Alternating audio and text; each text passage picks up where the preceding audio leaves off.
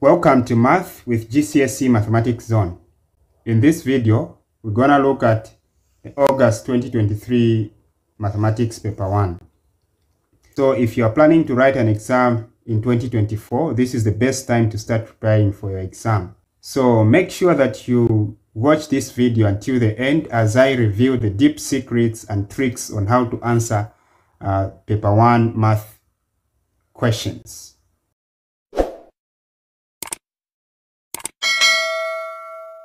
All right, so the first question says evaluate. So when they say evaluate, they want you to work out and find the actual value.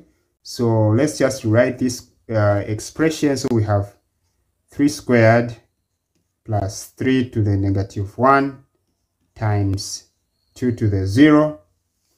All right, before you start answering the question, any question, you need to understand the method that you're going to use to attack it so in this case, uh, this is an expression, a numerical expression, so meaning we are going to follow the order of, of operation by following BIDMAS.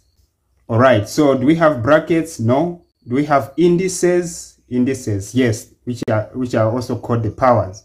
So you can see that we have the powers or the indices. So we are going to work out the powers first. So 3 squared is same as 3 times 3, then plus 3 to the negative 1. By the laws of indices, if you have the base a, which is any number a, that has been raised to the power negative b, it means that this is going to be equal to 1 over a to the power b. All right. Now, in our case, the ba our base is 3. So, meaning this can be written in this form. So we are going to have 1 over the base 3 to the power 1, which is just 3. Then times uh, 2 to the power 0 is just 1. Any number to the power 0 is 1. All right. So 3 times 3 is 9 plus 1 over 3 times uh, 1 is just 1 over 3. All right, so this is a fraction and this is uh, a whole number. So you need to know that this can be written as a fraction as well by saying over 1. So you need to know that fractions can only be added if you have the same denominator. Can only be added directly if you have the same denominators. So the common denominator here is a 3. So meaning we need to make this denominator to be 3. We're going to do that by multiplying by 3. All right. So what we've done on the denominator here, we also do it on the numerator so that the value of the fraction remains the same. All right. So 3 times 9 is 27 over 3 times 1 is just 3 plus 1 over 3. So now, because the denominators are the same, it means now that the two fractions, these two fractions can be added directly. So we're going to keep the denominator 3, 1. We're going to keep the denominator 3. Then 27 plus 1 is 28. Okay. Um, 28 divided by 3 is 9. Remainder 1 over 3. So this is the answer. The next question says simplify. To simplify means something is looking big, you need to make it look simple. You need to reduce it. So um, when you look at this question, it has brackets. So the first step that you're going to do is to open the brackets or to expand by multiplying uh, each term that is outside the brackets by everything that is in the brackets. So we're going to say uh, 2 times x is 2x. Then 2 times uh, positive 3y is positive 6y. So take note, I'm saying 2 times positive 3y. I'm multiplying together with a sign to avoid mistakes. So we are done opening this. Then we, we, we come to this. Negative 3 times 4x is negative 12x. Negative 3 times negative 2 is positive 6. Alright. At this stage, you collect like terms together, those with x's. So this one has x, uh, this one has x. Uh, so take note, I'm collecting together with their signs. Alright. So what you are ha having now is 2x minus 12x is negative 10x. Okay? Then do we have any terms that are like? No. So meaning this term and this term are going to be written as they are. So plus 6y plus uh, 6. So this is the answer. All right, question 3 says factorize completely. So take note there are two uh, statements here. You need to factorize and you need to complete the factorization. Okay, so you have 3x squared minus 27. Okay, so the first step that you are supposed to do here when they say factorize, uh, you need to look for the highest common factor or what is common between these two terms. And in this case, a 3 is common, so we're going to factor it out like this. Uh, so 3x squared divided by 3 will remain with x squared in the brackets. Then negative 27 divided by 3 will have negative 9 here. All right, so we are having 3, then x squared minus 9 can be written as 3 squared. Okay, now when you look at what is in the brackets here, you can see that x squared is a square number and uh, 3 squared is also a square number. And because these you have two square numbers and in between you have a, a, a minus sign, it means that the expression that is in the brackets is, is in the form of dots. Okay? Difference of two squares. Okay, so difference of two squares states that if you have a square number a that is subtracting another square number b, then for you to factorize this, uh, you are going to factorize it in this form okay? You're going to factorize it as follows. You put a plus here and a minus there. So you say the square root of a squared is a. You also write it here. Uh, the square root of b squared is b. You also write it here. All right so now uh, when you look at this this is exactly in this form. So meaning we're going to have 3 uh, open brackets then plus minus. Okay? The square root of x squared is x. You also write it here. The square root of 3 squared is 3 you also write it here. Okay? So this is the answer 3 x plus 3 x minus 3 all right, number four says find the gradient of a line which passes through the points negative 3, comma negative 1 and 0, comma 3. All right, so they want you to find the gradient and the, uh, of, a, of a line that is passing through these two points. So gradient is given by the letter m and its formula is gradient m is equal to y2 minus y1 over x2 minus x1. All right, so, but when you look at these two points, uh, you don't have these x1s, y1s, you don't have them. So what you do is you choose each of, you choose any of these points to be point 1. So I'll choose this one to be point 1. If this is point 1, then it means that here you have x1, then this is y1 then this will be x2 and y2 so maybe this is point 2 all right now we can replace uh, these values in the formula so we are going to have y2 is uh, 3 okay 3 minus uh, y1 is minus 1 so put in brackets like this please Many students make mistakes here. Put in brackets here. If you have a negative, you're subtracting a negative, you make sure that you put it in brackets like this. Then divided by x2. Uh, x2 is 0. So you have 0 minus x1 is minus 3, negative 3. So put in brackets like this, guys. Okay? So you have 3.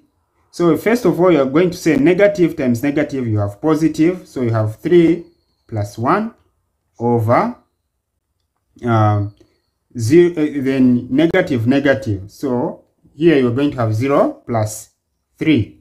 All right?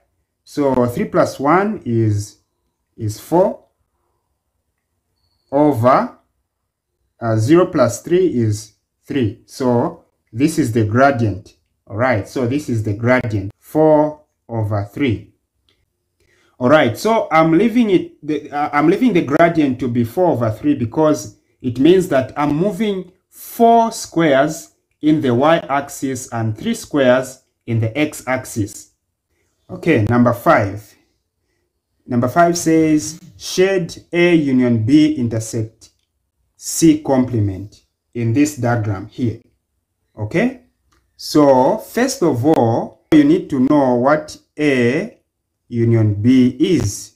Okay? If you are to shade, if you have two sets like this, set A and set B. Okay? And you are told to shade A union B. A union B means everything that is making, that is forming the two sets combined together. Okay? So A union B will be this. Will be this. All the elements that are making set A and B. A union B is this.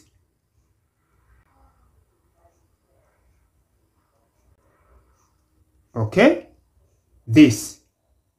Now, because they are saying intersect C complement, it means you need to shade A union B and then subtract the set C, meaning set C should not be shaded in any way. So A union B complement will just, eh, eh, A union B intersect C complement will just be this. If you shade here, it means you've shaded the part of the C, which is contradicting with this. If you shade here, again, it will contradict that. All right. The position vector of a point P is this. Given that the point Q is this, find PQ. Okay, these are also one of the easiest questions. So uh, I always encourage students to uh, make a sketch. Okay, so if you have uh, the Cartesian plane like this, x, y, okay? So point P is at 3, comma 4. So 3, we are going to say, let's say this is where 3 is, and 4 is, is here. Let's say 4 is here. So point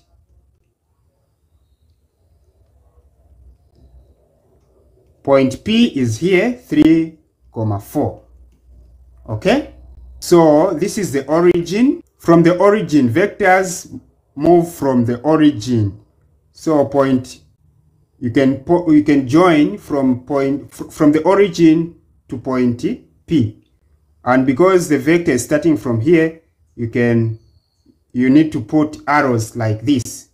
Okay? And then point Q, they are saying point Q is at negative 1, comma 1. So negative 1 is here, then 1 is here. So this is Q, negative 1, comma 1. Again, you can connect from here, from the origin to point uh, Q. All right, so you can actually connect these two like this. Now you have OPQ.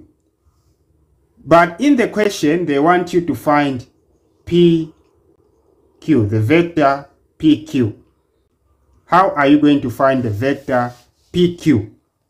So now what you have to understand is that this letter that is on the far left here, you may have A, B, P, Q, R, S, but as long as it's on the far left here, it means that's where you're going to start your movement from. So you have P, O, okay? So you have P, O plus, so you move from P to O plus OQ or, or Q. All right. So what is PO?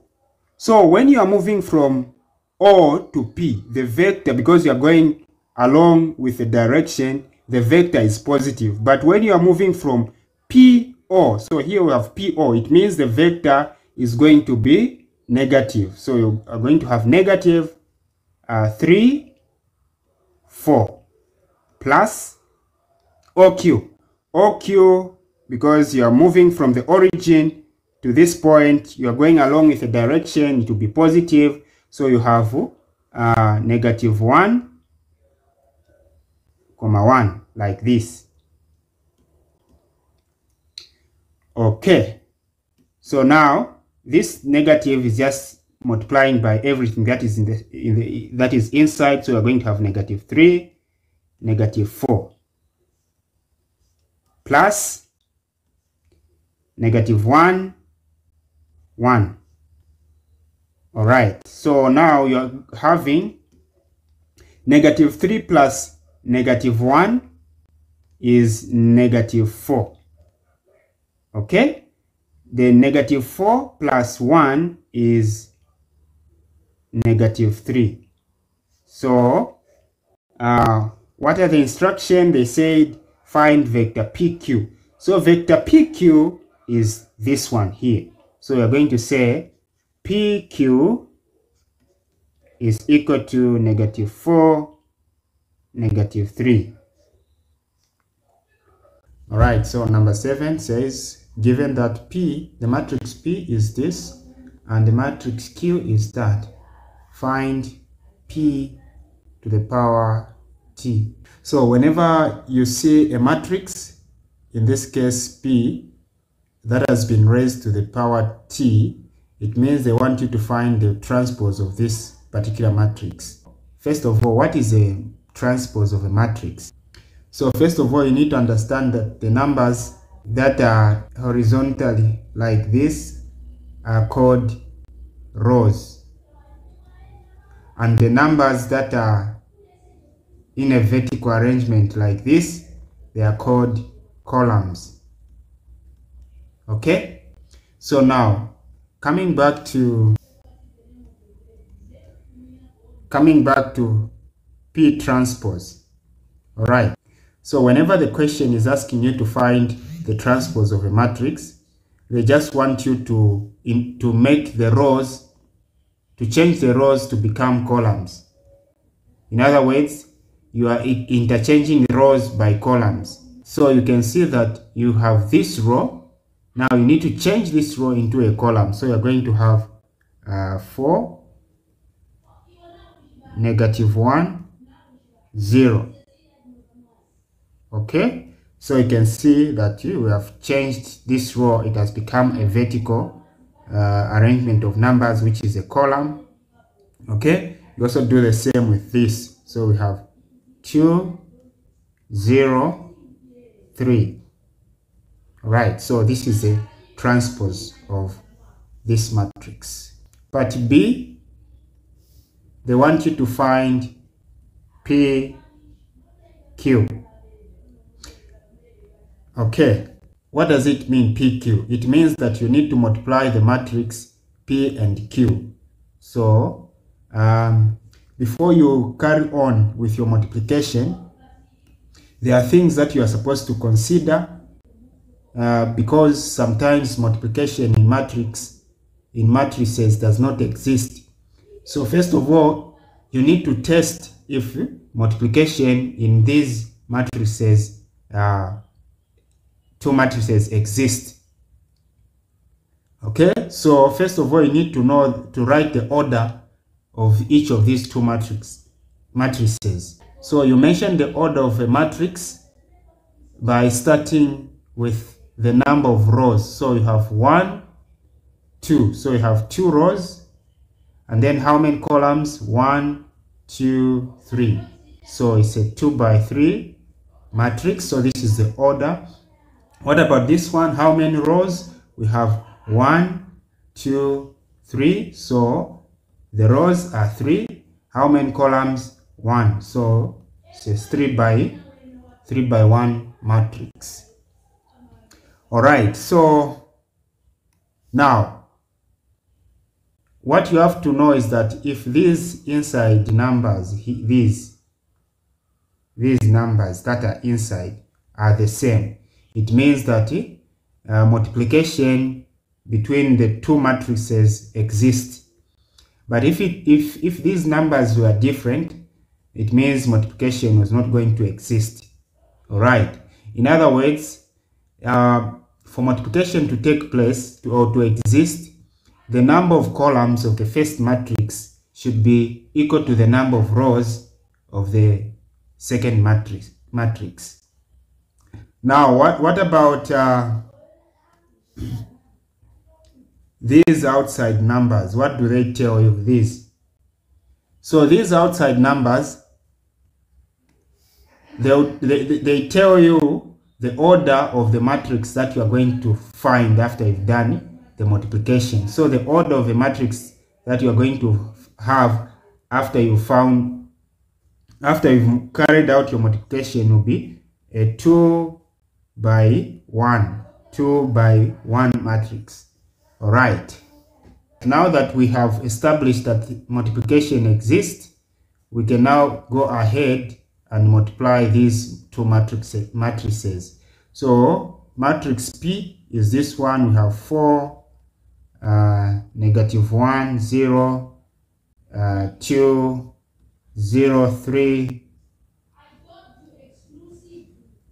which is being multiplied by this matrix 1, 2, 3.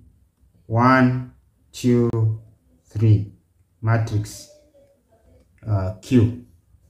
So when multiplying matrices, you multiply them following row of the rows of the first matrix, ma matrix by the columns of the second matrices, ma matrix. Okay? So meaning we're going to start with uh, this row and finish with, the, with this column and then this row and finish with that column okay so we're going to have 4 times 1 so 4 times 1 uh, plus negative 1 times 2 so negative 1 times 2 and plus 0 times 3 so we are done with this row and this column, okay? Then we come to this row. So we have 2 times 1, okay? So we're talking about this 2 times 1 plus uh, 0 times 2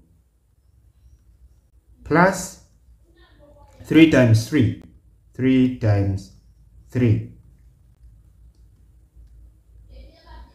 all right everything you put in brackets like this because it's a matrix okay so what is needed now is just to simplify. So 4 times 1 is 4 then plus negative 1 times 2 is negative 2 then 0 plus 0 times 3 is 0 all right? Then 2 times 1 is 2 plus 0 times 2 is 0 plus 3 times 3 is 9. Okay, so 4 plus negative 2 plus 0 is just 2. Okay, 4 plus 0, I mean 2 plus 0 is 2 plus 9 is 11. So this is the answer. This is it the matrix PQ. And just as I said, uh, the order of this matrix is 2 by, so 1, 2, so it's a 2 by 1 matrix, just as I said here about the outside numbers. All right, number 8 says an arithmetic progression is given as 1, 7, 13. All right, so this is an arithmetic progression. The other name for the arithmetic progression is uh, the linear sequence. So what is this arithmetic progression or a linear sequence? A linear sequence or the arithmetic progression is a sequence uh, in which uh, its terms increase or decrease with the same amount each time. All right. So they, they are saying find the eighth term. So for you to find the eighth term, because this is an arithmetic uh, progression or the linear sequence, for you to find the eighth term, first of all, you need to find D. D, which is the common difference, okay? The common difference is found by subtracting the previous term from the next term. So we are going to have 7 minus 1. It should be true also because it, this term in this sequence increases by the same amount. It should, so meaning it should also be true when you say 13 minus 7, which gives uh, 6. So uh, the common difference is 6. All right, after finding the, uh, the common difference, you also need to know that you are finding the eighth term. So meaning n is 8, okay? N is 8. So to find the eighth term, we are going to use the formula. The general formula for finding the terms of an arithmetic progression is an is equal to a. a is the first term. So here, meaning we also need to have a. a, the first term is in is 1 in this sequence, okay? So the formula for finding the nth term of an arithmetic progression is an is equal to a plus n minus 1 times the common difference d. Okay? So since we are finding the eighth term, so where there is n, we're going to put 8. So eighth term will be equal to, the first term is 1, so we have 1 plus n is 8, so we have 8 minus 1 and the common difference is 6 so we're multiplying by 6 so we have the eighth term being equal to 1 plus uh, 8 8 minus 1 is 7 then times 6 okay? 7 times 6 so we have 1 plus 7 times 6 is 42 then 1 plus 42 is 43. Alright, so here the answer is 43. Part B, they want you to find the sum of the first 15 terms. So first of all, n, n is here, 15. So 15, then d, the common difference we found that it's 6, we need a, the first term, which is 1 in this sequence. Okay. So now the formula for finding the sum of the terms of an arithmetic progression is given by um, Sn is equal to n over 2, then 2a plus n minus 1 times the common difference. Okay? So now we already have the data here, so we just have to, just need to replace. So n is 15, so we have 15 over 2.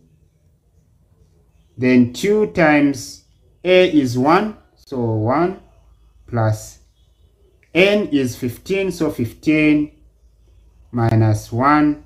Common difference is 6, okay? So we need to simplify this. So we have 15 over 2 2 times 1 is 2 plus 15 minus uh, 1 is 14. So we have 14 times 6. Okay? So this is paper 1 and you, you are not allowed to use the calculator. So we are going to have 15 over 2.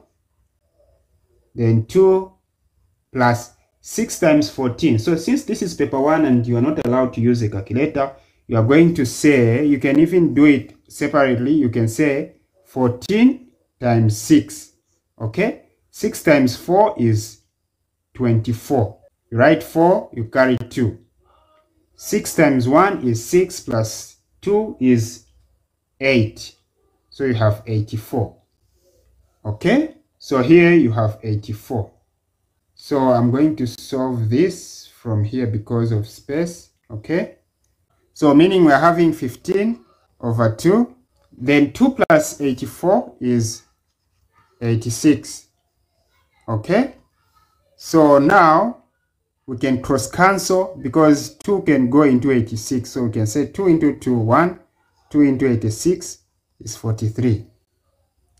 Uh, now we have 15 times 43. So 15 times 43.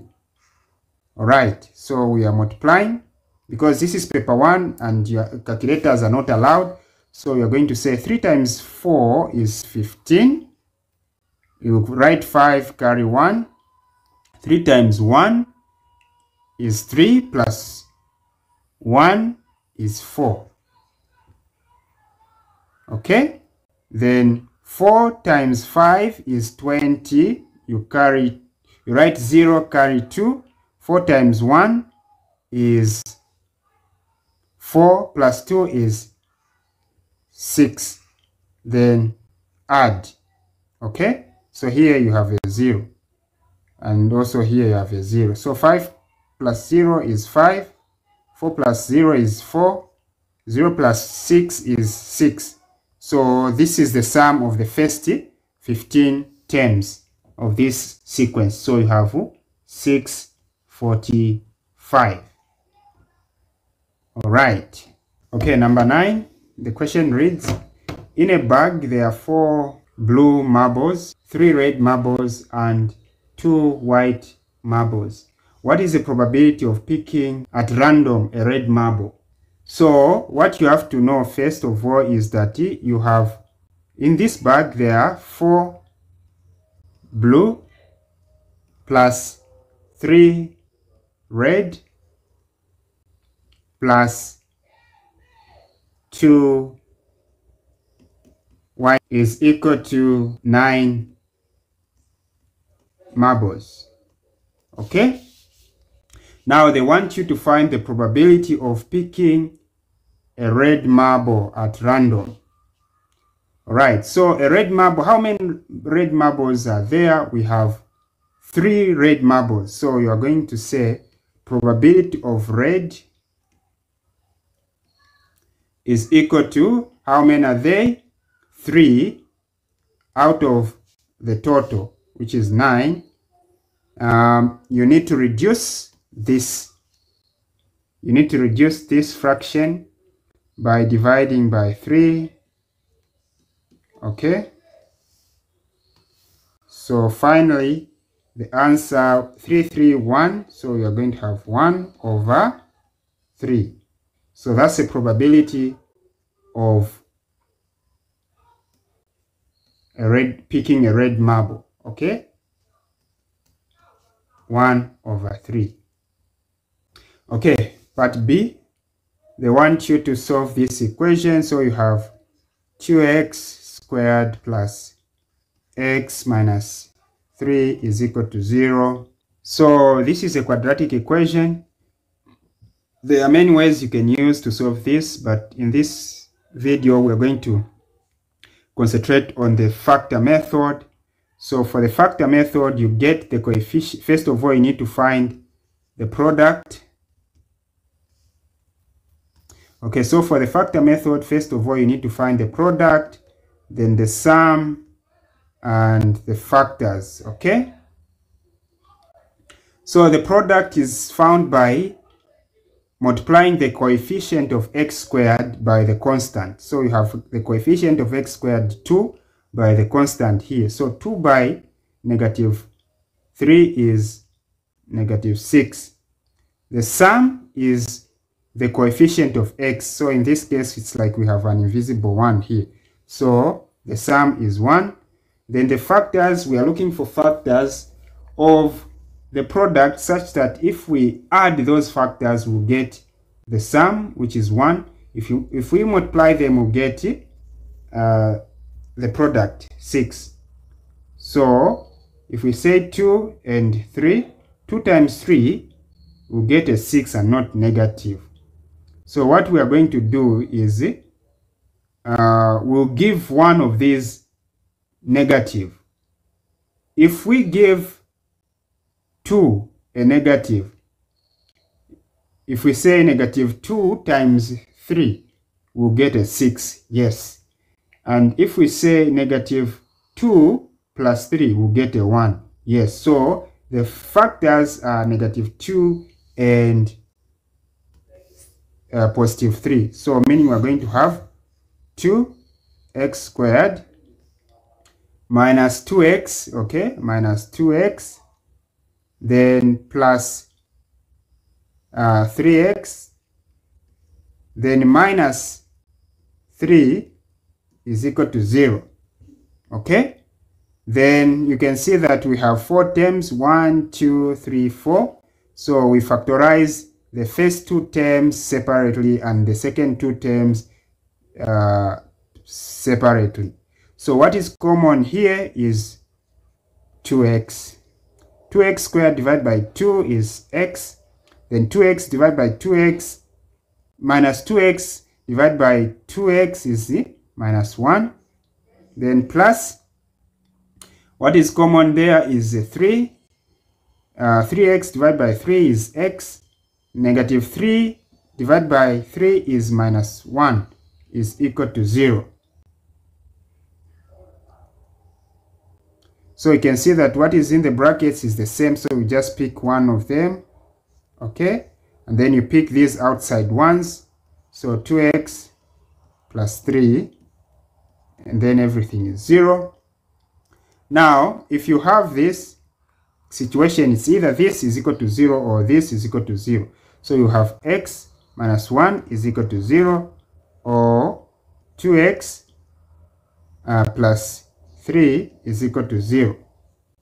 So at this stage, you want the value of x, so meaning m at remaining with x on the on the on the left. Okay, so meaning you need to remove negative 1. Take you need to take it to the other side. So we're going to do that by additive inverse. This is negative 1 for you to remove it, you are going to add a, a 1 so that when you so that when you say negative 1 plus 1, this becomes a 0. Then what you've done on the left, you also do it on the right. Okay? Also the same here, remain with a term that has the variable that you are looking for. So this is uh, positive 3. So to remove this positive 3, you are subtracting a 3. So what you've done on the left, you also do it on the right. All right. So let's solve it fr from here. So meaning here on the left, you are going to remain with the x is equal to 1 or 2x is equal to negative 3. This, okay? So you have x is equal to 1, then divide through by 2, okay? So, or x is equal to negative 3 over 2, which is uh, negative 1 and half. Okay? So x is equal to 1 or x is negative 1 and half.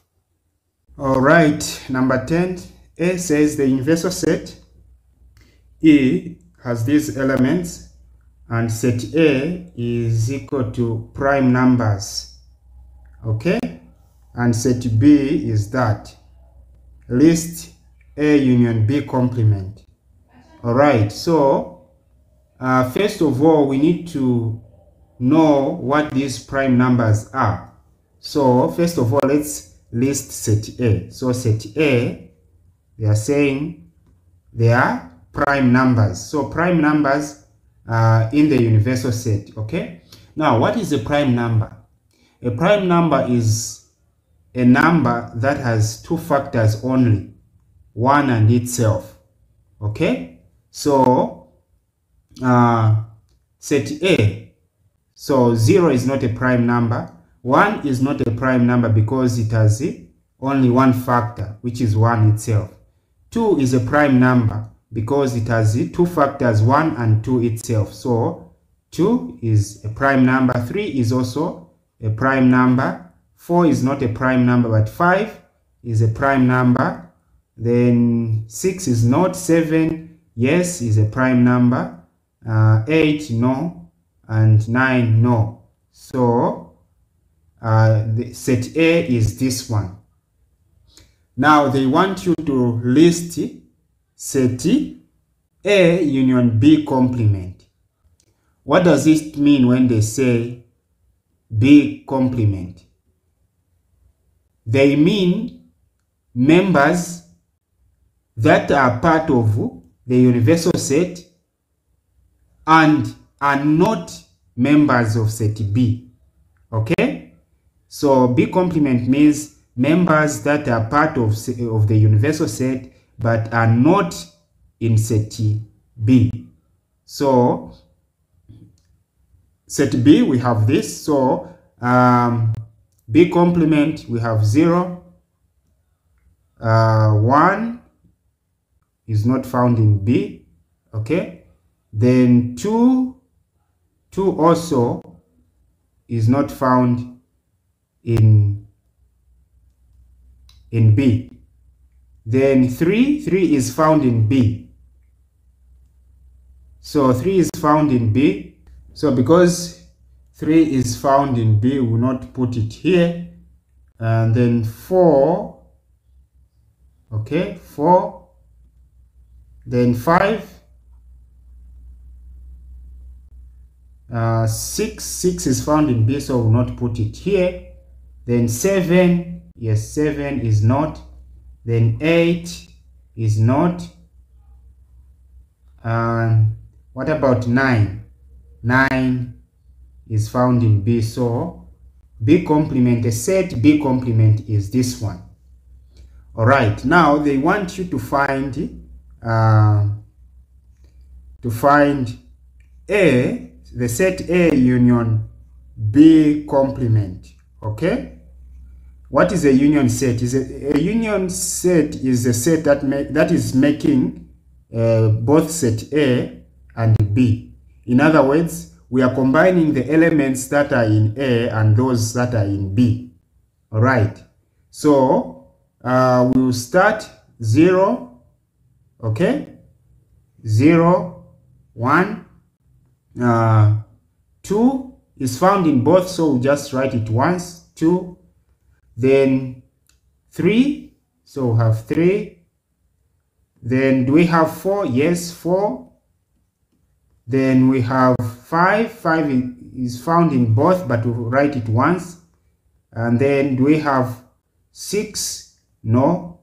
Do we have 7? Yes, so 7. And finally, 8. All right. So this is A union B complement set they wanted. You may be wondering why a 3 is also part of this set. It is because 3 is part of um, set A and so we just combined the elements. Alright. Part B. The following diagram shows a, a regular he hexagonal right pyramid. Okay. So here you need to pay attention to the word regular hexagonal. Okay? Find the number of pla planes of symmetry of this pyramid. All right. So when you look at this pyramid, we've been told that it's a regular hexagon, hexagonal. So hexagonal meaning it has um, it has six sides or it has six planes. Okay, uh, so so we've been told to find the number of planes of of symmetry of this regular hexagonal pyramid. Okay, so what you have to know is that planes of symmetry is similar to lines of symmetry. Just that eh, when it comes to lines of symmetry, you are referring to a 2D shape. Okay, but when you talk about planes of symmetry, you are referring to a 3D shape. Okay, so since they, they have said eh, this is a regular hexagonal right pyramid because it's a regular uh, object. It means that the number of sides of this uh, pyramid is equal to the number of uh, lines of symmetry. So it has one, two, three, four, five, and six. It has six sides. So meaning the number of planes of symmetry is six. So this object has six planes of symmetry. All right, number 11, part A says town A and B are on longitude 75 degrees west and 45 degrees east respectively. Find the difference between, find the time difference between these two towns. Okay, so I usually encourage students to make um, a sketch. Okay, so you make a sketch of the earth. Okay, so this is, you're going to assume that this is uh, longitude 75 degrees uh, west. Okay? Then you're going to assume that you draw another one because there's this one that is on the east, 45. So you draw another one that is 45. So you assume that this one is 45 degrees east. All right. And then you have the equator like this. So I encourage students to do this because when you make a sketch, things become easier. Okay? Just remember, they want you to find the difference in time between these two uh, towns. So this is point, so you can label, so meaning this is where point A is, and then this is where point B is, okay? So you can see that point A is in the west and point B is on the is in the east. So now for you to find the time difference First of all, you need to find the difference in degrees, okay? Difference in degrees, that's the first step. Now, how are you going to find the difference in degrees? If uh, the two towns are in the same region, let's say they are all in the west, you are going to subtract the degrees, these degrees.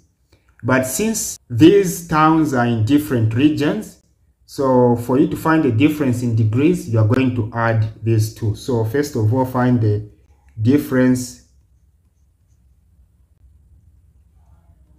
in degrees, which is 75 plus 75 degrees plus, uh, 45 degrees giving 120 degrees.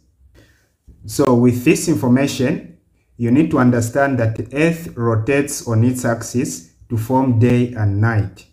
okay and the complete rotation uh, is 360 degrees and because there are 24 hours in a day we are going to divide this 360 uh, by 24 so that we know how many degrees equal to uh, one hour. So when you divide this, you are going to have 15 degrees. So meaning one hour is equivalent to uh, 15 degrees.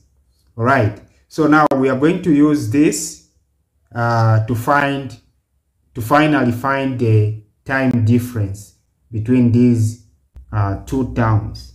So we are going to say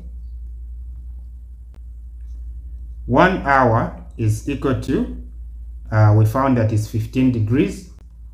Okay.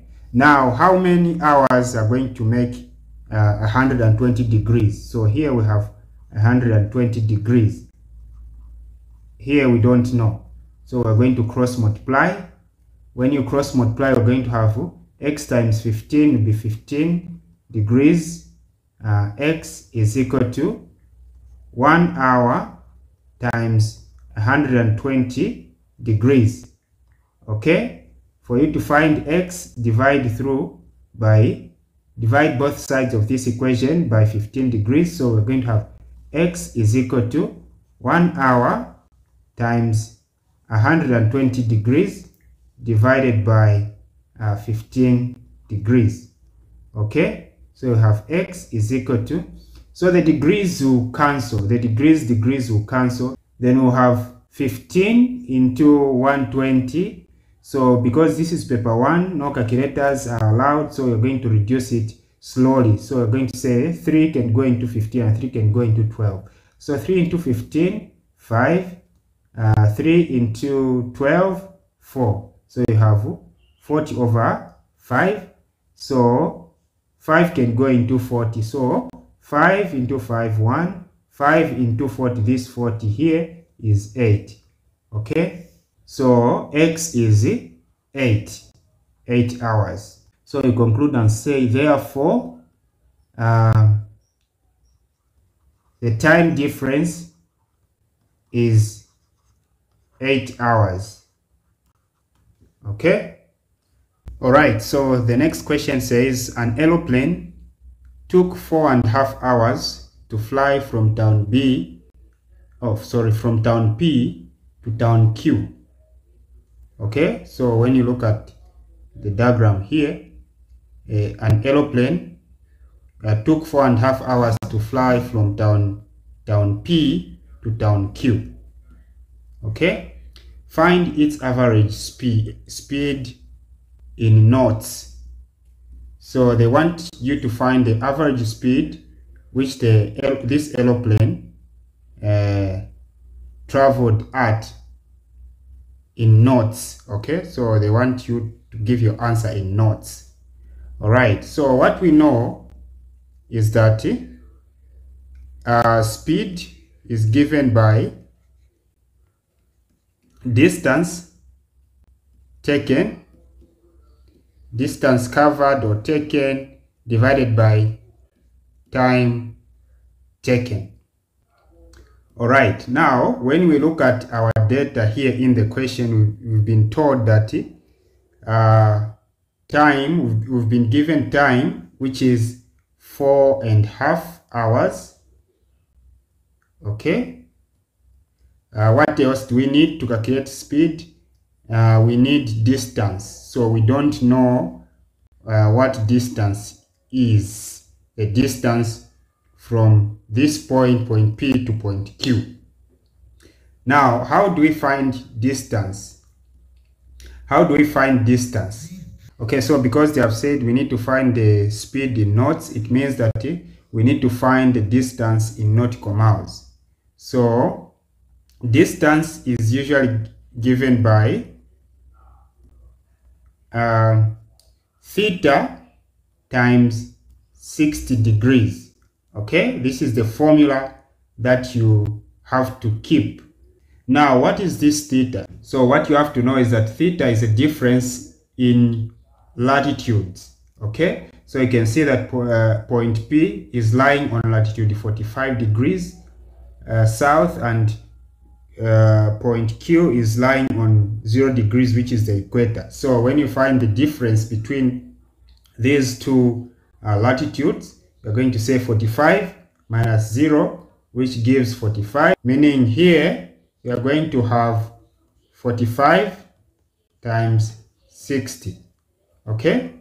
45 times 60 is, so because paper 1 you are not allowed to use a calculator, so what you do, you get a 0 from 60, you put it here at the far end of 45, so you're going to have 450.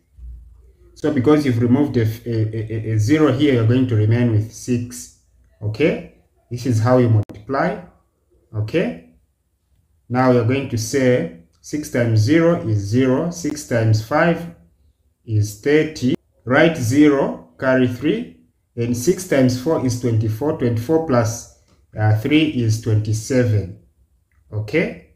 So meaning the distance is 2700 nautical miles. Alright. Now we can use this distance here when finding the speed. So we are going to have distance 2700, 2700 divided by time. Time is um, here four and half hours okay? So here you just have to change it into an improper fraction. So we're going to have 2700 over 4 times 2 is 8 plus 1 is 9 over 2 all right some people start shivering when they reach here uh, there's nothing hard here. Uh, is same. This is same as 22,700 divided by this over sign is same as divided by 9 over 2. All right. Now, you are going to have 2,700. Um, when you multiply, when dividing fractions, uh, there is this which you use. You you, you say keep then change and flip. Whenever you are dividing fractions, you need to uh, bear in mind this. So you keep the first fraction as it is, then change the division sign into multiplication, and as soon as you change it into multiplication, then you flip, you flip, okay? So you're going to have 2 over 9. Alright? So keep this in mind. Alright. Uh, this is paper 1. So you can reduce it from here. So 9 into 9, 1. 9 into 27 is 3. And then these zeros will come here. Okay? So meaning you are, you are going to have uh, 300 times 2. 300 times 2 is 600 knots because okay 600 knots so this is the speed that the speed at which that aeroplane flew all right question 12a says solve uh, this exponential equation all right so we have uh, 5 to the power 3x, negative 3x is equal to uh, 125. All right, this is an exponential equation.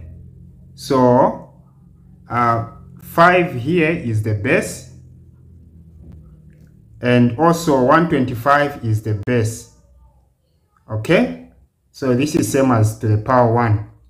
All right, so Whenever you are given such an exponential equation, uh, for you to solve it, you need to change the bigger base into the smaller base. In this case, we're going to change this base 125 into a smaller base of 5. So we're going to have 5 to the negative 3x is equal to uh, 5 raised to the power what so that you get back your uh, 125. So it's 5 to the raised to the power uh, 3.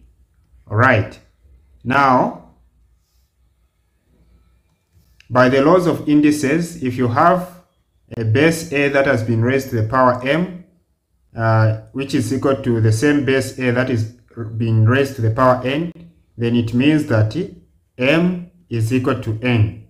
All right, so we're going to apply this here because we have 5, 5 as the same base, and so we are going to have negative 3x is equal to 3. Divide both sides by negative 3. Alright, then x is equal to, okay, this is negative 3, negative 1. Alright, so x is equal to negative 1. Alright, part B says the diagram shows a sector x or y, x or y. The angle subtended at the center is 70 degrees and radius and the radius is 18 degrees. Yeah. So now the question says, uh, calculate the area of a sector x or y, taking pi to be 22 over 7. Alright, so they want you to find the area of this sector. So area of a sector is given by theta over 360 degrees uh, times pi r squared okay all right so area is equal to uh, theta in this case is the central angle so you have 70 degrees over 360 degrees times pi pi we've been told that pi is 22 over 7 so 22 over 7 times Radius is 18, so we're going to have 18 squared. All right. Uh, 0, 0 can cancel, can reduce. right? Then 2 can go into 22 11 times. 2 can go into 36 18 times. Again, 7 can go into 7 one time, even here one time. So we are going to have area is equal to 1 over 18. So 1 over 18 times 11 here, then times 18 squared is same as 18 times 18, like this. Okay? So because this is paper one, you make sure that you are being careful. You can see the way I'm doing it so that I don't deal with big numbers. So you can see that this 18 and one of these 18, 18s will cancel. So that's how you work out in paper one, guys. So you are going to remain with area is equal to 1 times 11 times 18. So which is just 11 times 18. Now, because this you are not allowed to use a calculator, you are supposed you are going to say 18 times 11 and then multiply it like this. Okay? 1 times 8 is 8, 1 times 1 is, is 1. Then 1 times 8 is 8, 1 times 1 is 1. Alright. Then here you add. Right? Then here is same as you have a 0. So 8 plus 0 is 8. Then 1 plus 8 is 9. Then here is same as you have 0. 0 plus 1 is 1. So you conclude and say therefore area of this sector is 198 square centimeters. All right. Question 13 says the mass of a bag of mealie is 25.2 kilogram kilograms. Calculate the tolerance. All right. Uh, so what you have to know is that uh, tolerance is equal to the upper bound the upper bound minus the lower bound. So the upper bound is also called the maximum value and the lower bound is also called the minimum value. And this is the true value that we've been given, okay? This is a true value. So for you to find tolerance, you are supposed to subtract the lower bound from the upper bound. Okay, so we need to find the upper bound. So I'm going to find it here. So upper bound. How do we find the upper bound? We use the true value, okay? So the true value is 25.2. All right, you need to pay attention to the true value. If the true value has one decimal place, it means, so we are saying one decimal place, if the true value has one decimal place in this, like in this case, uh, the absolute error is 0.05. Okay?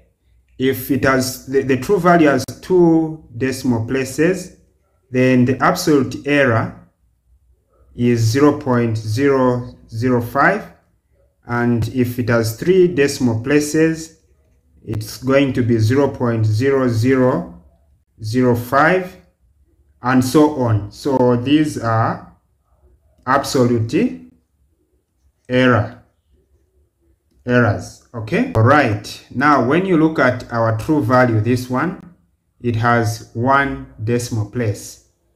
And because it has one decimal place it means we're going to add for for us to find the upper bound we are going to add a 0.5 to this value true value okay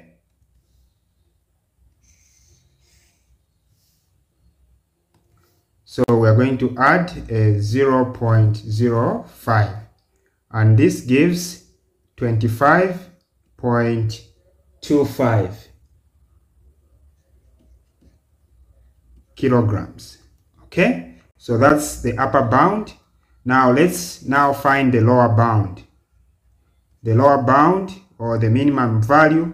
So for the maximum value or the upper bound we added a 0.5 but now on the lower bound we are going to subtract 0.05 from 25.2 so we're going to have 25.2 minus 0.05 and this gives uh, 25.15 all right so now we go back to our formula for finding the tolerance okay? So we're going to have tolerance is equal to the upper bound. The upper bound is 25.25 25.25 then minus the lower bound. The lower bound is 25.15 all right um in case people may be wondering on how to add and subtract uh, decimals so this is what we're going to do. Remember this is paper one so we're going to say 25.25 okay? Minus 25.15 you write them vertically like this okay? Make sure that the the place values are aligned. You can see that uh, this is ones tens okay? Make sure that the ones are aligning with the other ones. Even these tens are aligning with the other tens. Then this one is a tenth. So the tenth place is aligning with the other tenth place. Even this one the hundredth place is aligning with the other hundredth place. All right. So we're going to have 5 minus 5 is 0 2 minus 1 is 1 point. This point, just drop it here. Then 5 minus 5 is 0, then 0, 0. So meaning the answer here is uh, 0 0.1. All right, so this is the tolerance. Okay, so the tolerance is 0 0.1 or 0 0.10. It's just the same. All right, the next question is telling us to find the relative error. Okay, so relative error RE is given by uh, absolute absolute error um, yeah absolute error divided by the true value the true the true value okay? Now remember we said because our true value is 25.2 which has two decimal places meaning the absolute error that we're going to use is a 0. 0 0.05 okay so meaning here we are going to have uh, 0 0.05 divided by true value is 25.2 all right so you are dividing this so when you look at these numbers the numerator has two decimal places and the denominator has one decimal place so because uh, the numerator has two decimal places, it means that we're going to multiply the, the numerator by 100 and what we've done here, we also do it here, okay? So that we have a whole number on top. So we are going to have 0 0.05 times 100, you're going to have 5 over uh, 25 times 25.2 times 100 the point will move twice to the right. So 1 2 so it will be 2520 okay? Now you start dividing uh, 5 can go into 2520 so 5 into 5 1 5 into 25 is 5 okay? 5 into 2 is 0 okay? Then 5 into 20 is 4 so meaning the answer is going to be 1 over 504 so relative error is equal to 1 over 504. Number 14 says, in the diagram, three points A, B, and C are on level ground. The bearing of B from A is 0, 3, 5 degrees. So the bearing of B while standing at A. So the bearing of B while standing at A is this one here, 035. And angle ABC is equal to 90. This angle here is 90 and angle ACB is 40 degrees. Angle ACB is 40 degrees. Now the question says find the bearing of A from C. All right. They want you to find the bearing of A from C. So the word from in the previous videos, those that have not watched my videos on bearing, you are free to go and watch it on this same channel. Okay, so the word from in bearing is very important. So when they say find the bearing of A from C, it means that they want you to find the bearing of A whilst you are standing at C.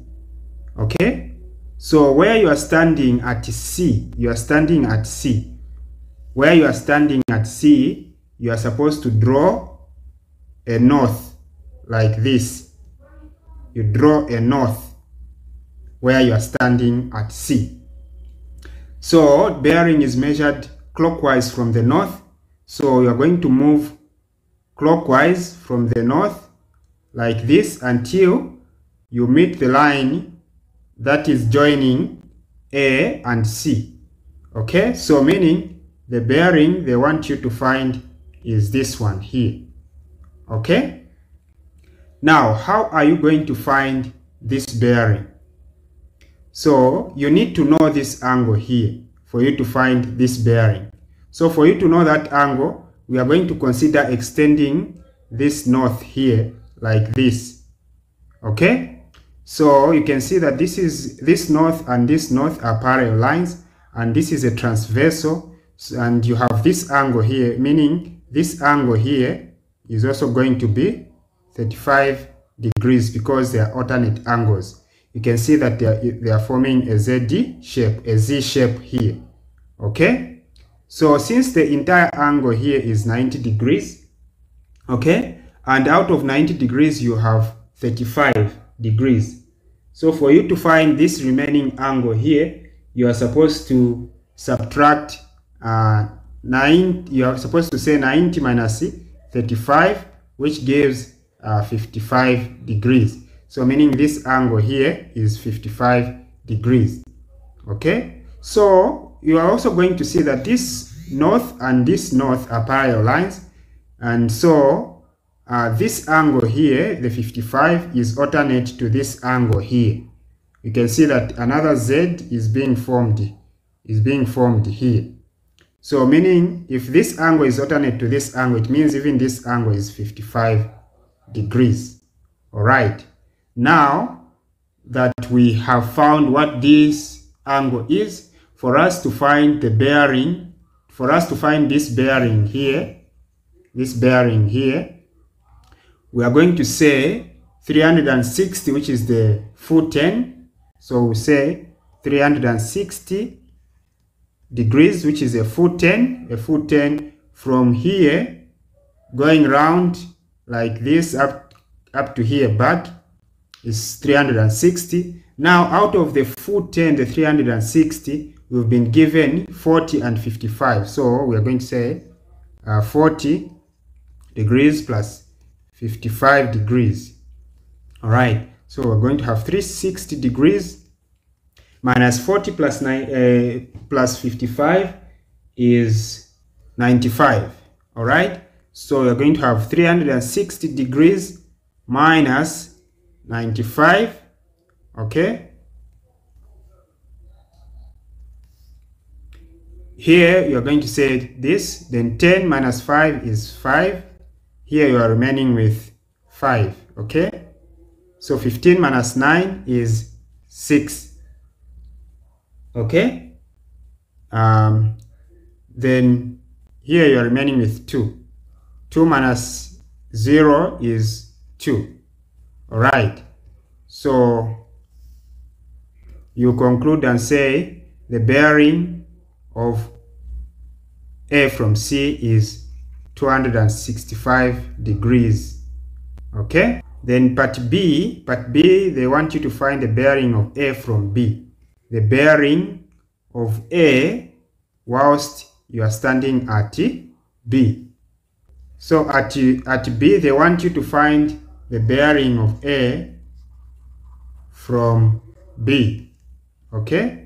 Meaning they want you to find the bearing of A whilst you are standing at B. So the point at which you are standing, which is at B, you are supposed to draw a north, but in this case, we already have a north. Okay?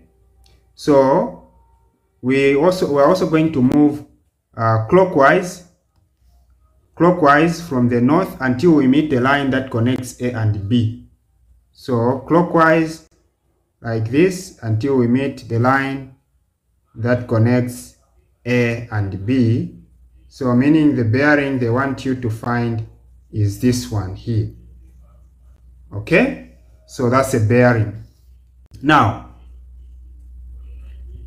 when you look at this, this is a straight line, okay? So from the top north, coming down up to here, up to here, it's 180 degrees because this is these are angles on a straight line which add up to 180 okay now you need to add this angle here from here up to here okay, for you to find the bearing of A from B.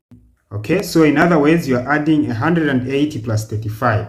So you're having, you're adding 180 degrees plus 35 degrees.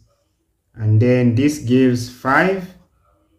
8 plus 3 is 11. Then this is 1 plus 1 is 2. So this is the bearing of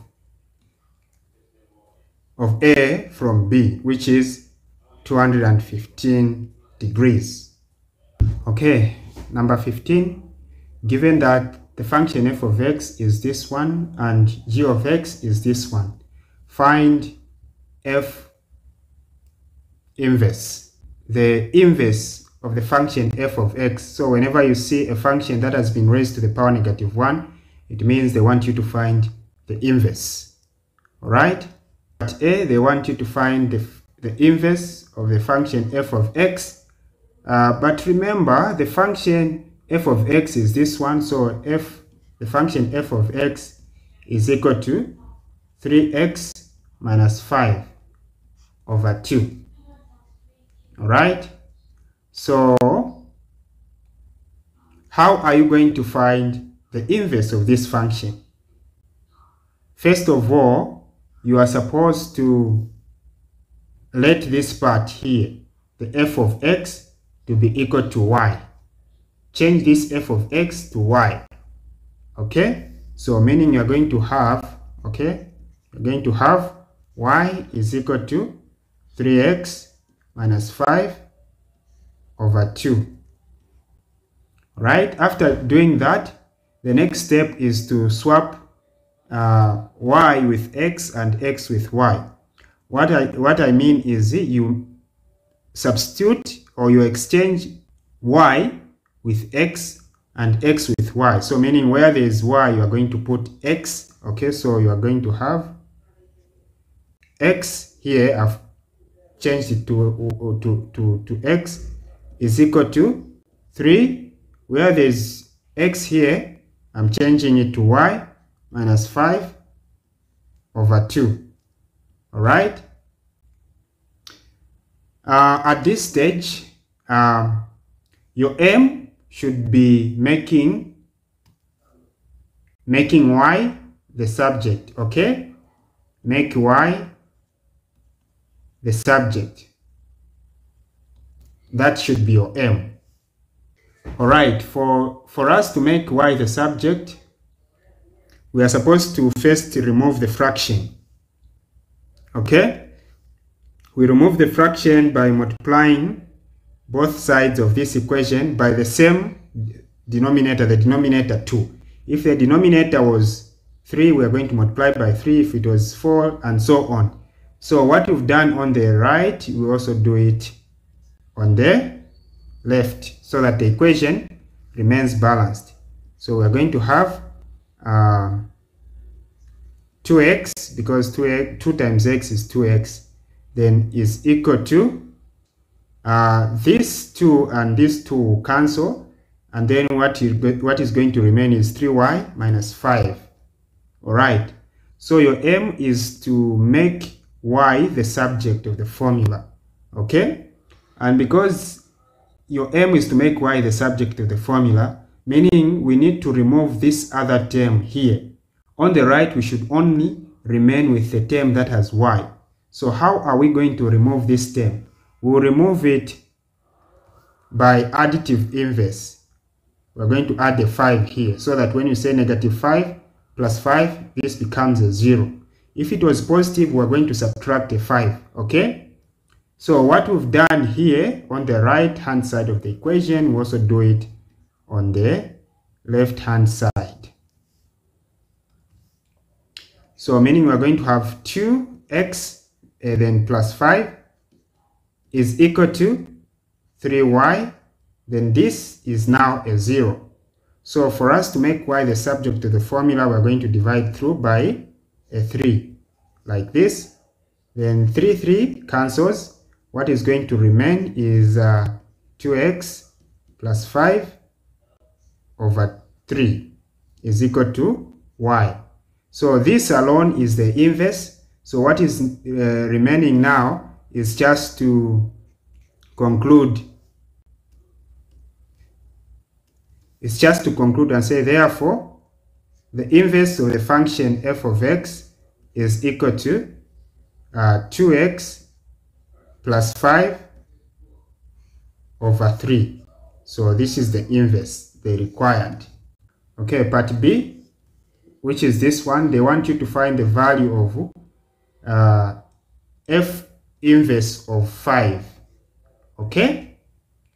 Remember the inverse of the function f, we've already found it as this one, which is 2x plus 5.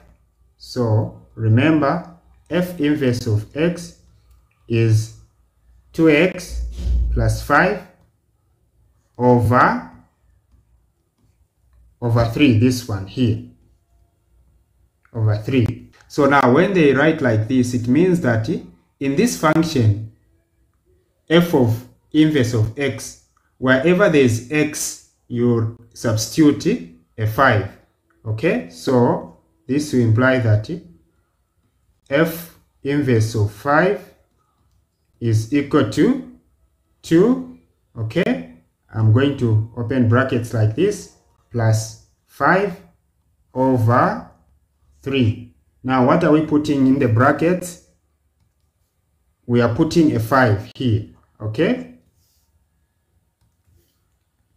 So now we go ahead. 2 times 5 is 10 plus 5 over 3 okay? So we have 10 plus 5 is 15 over 3 and this gives um, 5 when you divide 15 by 3 so we conclude and say therefore f inverse of 5 is 5 all right. But you see they want you to find okay? They want you to find the composition of the function f of g of x. Okay the composition of the function f of g of x. Now what does this mean? Okay? What it means is that the function f uh, sorry the function g of x is inside the function f. So this can be written like this. Okay? This means that the function g of x is inside the function f. Now what is this function uh, g of x. The function g of x is this one here uh, x plus 2 so you are going to say uh, f then x plus 2 this is g okay? Now this will imply that the function f of x plus 2 is equal to, so meaning in the function f here, in the function f here, wherever there is x, you are going to replace uh, the function g, which is x plus 2. Okay, so the function f is 3x minus 5 over 2. So the function f is 3. I'm going to open brackets, then minus 5 over 2. Okay? Now, what are you going to put in here? In here, you're going to replace this g. Okay? You're going to put g, which is x plus 2.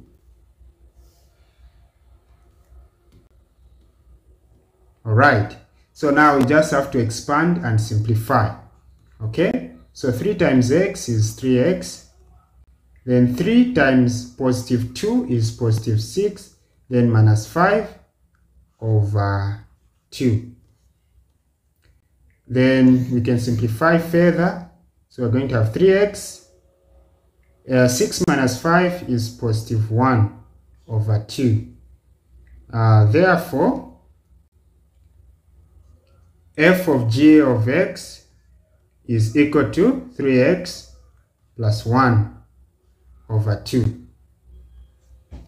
Alright, so the next question says, in the diagram, A, B, C, and D are points on the circumference of the circle with radius O. So the points A, B, C, and D are points on the circumference. Then they are saying BD is equal to AD. BD is equal to AD. All right. So this, this side is equal to that side. That's what they are saying. And angle ADB, ADB is 40 degrees. Now the first question says, find angle AOB, angle AOB. So angle AOB is this one here. Now when you look at angle AOB, how are you going to find angle AOB? So when you look at this angle, AOB is at the center. And this angle 40 here is, uh, is on the circumference. Okay? And for you to find angle AOB, you are going to apply the property that says angles at the center, the angle at the center is twice the angle on the circumference. So since we've been given a 40 degrees on the circumference, it means that for us to find the angle at the center, we are supposed to multiply this 40 degrees by 2. Okay? So we are going to say uh, angle AOB is equal to 2 times 40 degrees, which gives 80 degrees. The next question, they want you to find BCD, angle BCD. Now, how are you going to find angle BCD? This means that to find angle BCD, we are going to use this triangle here, okay? We're going to use this triangle because uh, this triangle is an isosceles triangle because they are saying this side is equal to that side and we've been given that. So for us to find angle BCD, we're going to say, we're going to assume that this is x and this is x because an isosceles triangle has uh, equal base angles. So we're going to say x, okay, let me just write x here and also x here, okay? So x plus x plus 40 degrees, we should get 180 degrees, okay? So when you add this angle, this angle, and this angle, we are going, we are supposed to get it a 60 degrees, I mean a 180 degrees. So x plus x would be 2x uh, plus 40 is equal to 180 degrees. Okay, this is degrees. So let's subtract 40 on both sides. Okay. In other words, I'm taking the 40 degrees the other side by additive inverse. So we're going to have 2x. Uh, this becomes a 0 is equal to 180 minus 40 is 140 degrees. So to find x, divide by 2 both sides, okay? So x is equal to 70 degrees. So meaning this entire angle here is 70 degrees. Even this entire angle is 70 degrees. All right. So now, since they want angle BCD, okay, this angle here, we are going to apply the property that says uh, opposite angles of a cyclic quadrilateral. So you can see that the one that is inside here is a quadrilateral. So the opposite sides here, this side is opposite to that side. So the opposite angles of a quad of a cyclic quadrilateral should add up to 180 degrees. So we are going to say uh, angle BCD is equal to, so this opposite angle to this angle is 70 degrees, so we're going to say 180 degrees uh, minus 70 degrees, which gives 110 degrees. Reason, opposite angles of a cyclic quad, okay, quadrilateral. Then part C, they want you to find angle OBD. Angle OBD.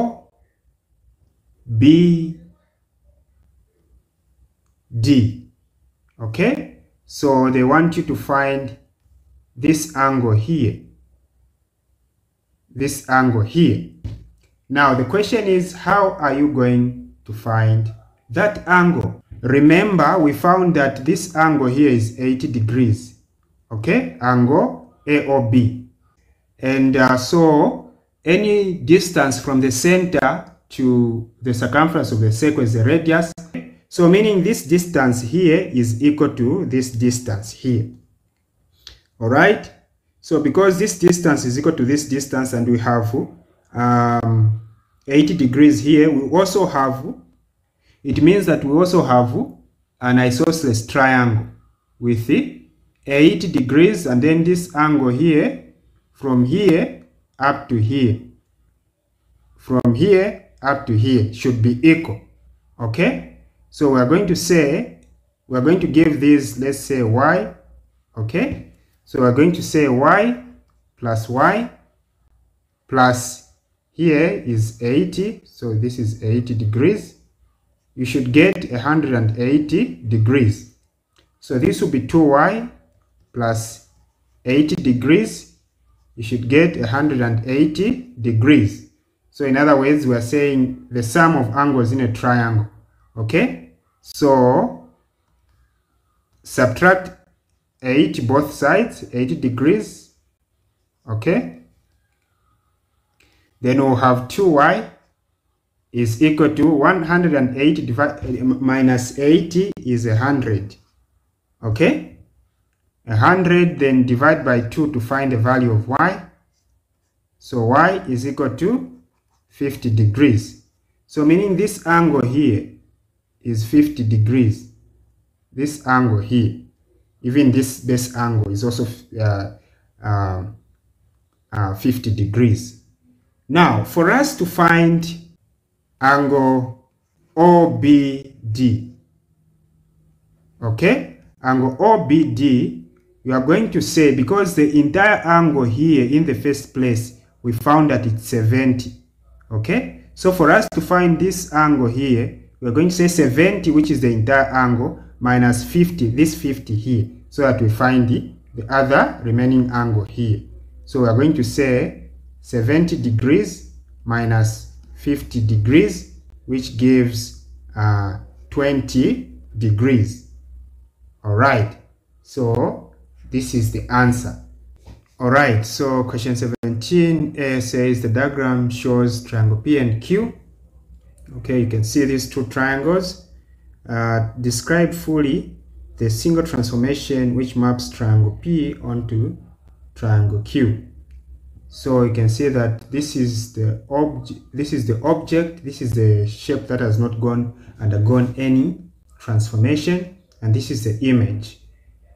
All right now before you start answering you need to ask yourself uh, some questions. Number one um, are the sizes of these two triangles the same yes they are the same what about the angles? Are the angles the same? Yes. You can see that this angle is equal to that angle. This angle is equal to that and that is equal to that. All right. So the only thing that we can think about are uh, reflection or rotation or translation. All right. So now let's look, let's see if it's reflection. Reflection, you are supposed to have a mirror line and these points should do be mirroring each other. Now, when you look at this, uh, the, the, points are not mirroring each other. So, um, reflection is out. What about rotation? So the shapes are facing the same direction, this side, okay? If the shapes are facing the same direction, automatically, uh, rotation is out. Uh, now, translation. So this is a translation. Why is it translation? Because this, look at this.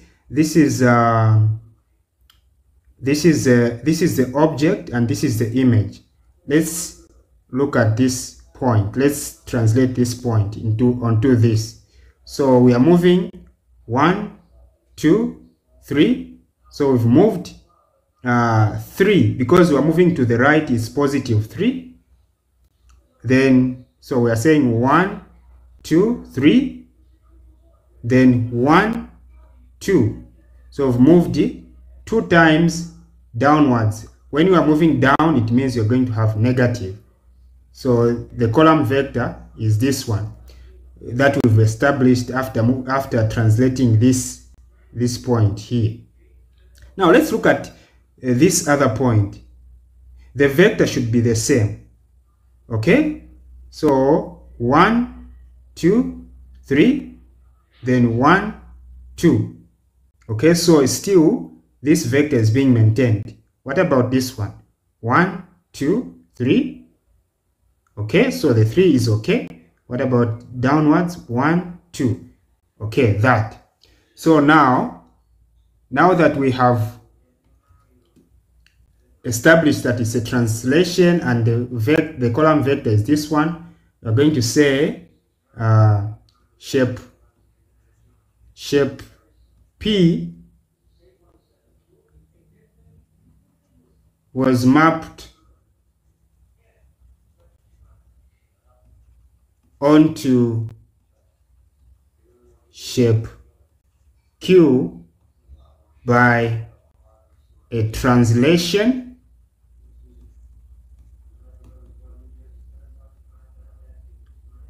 with a column vector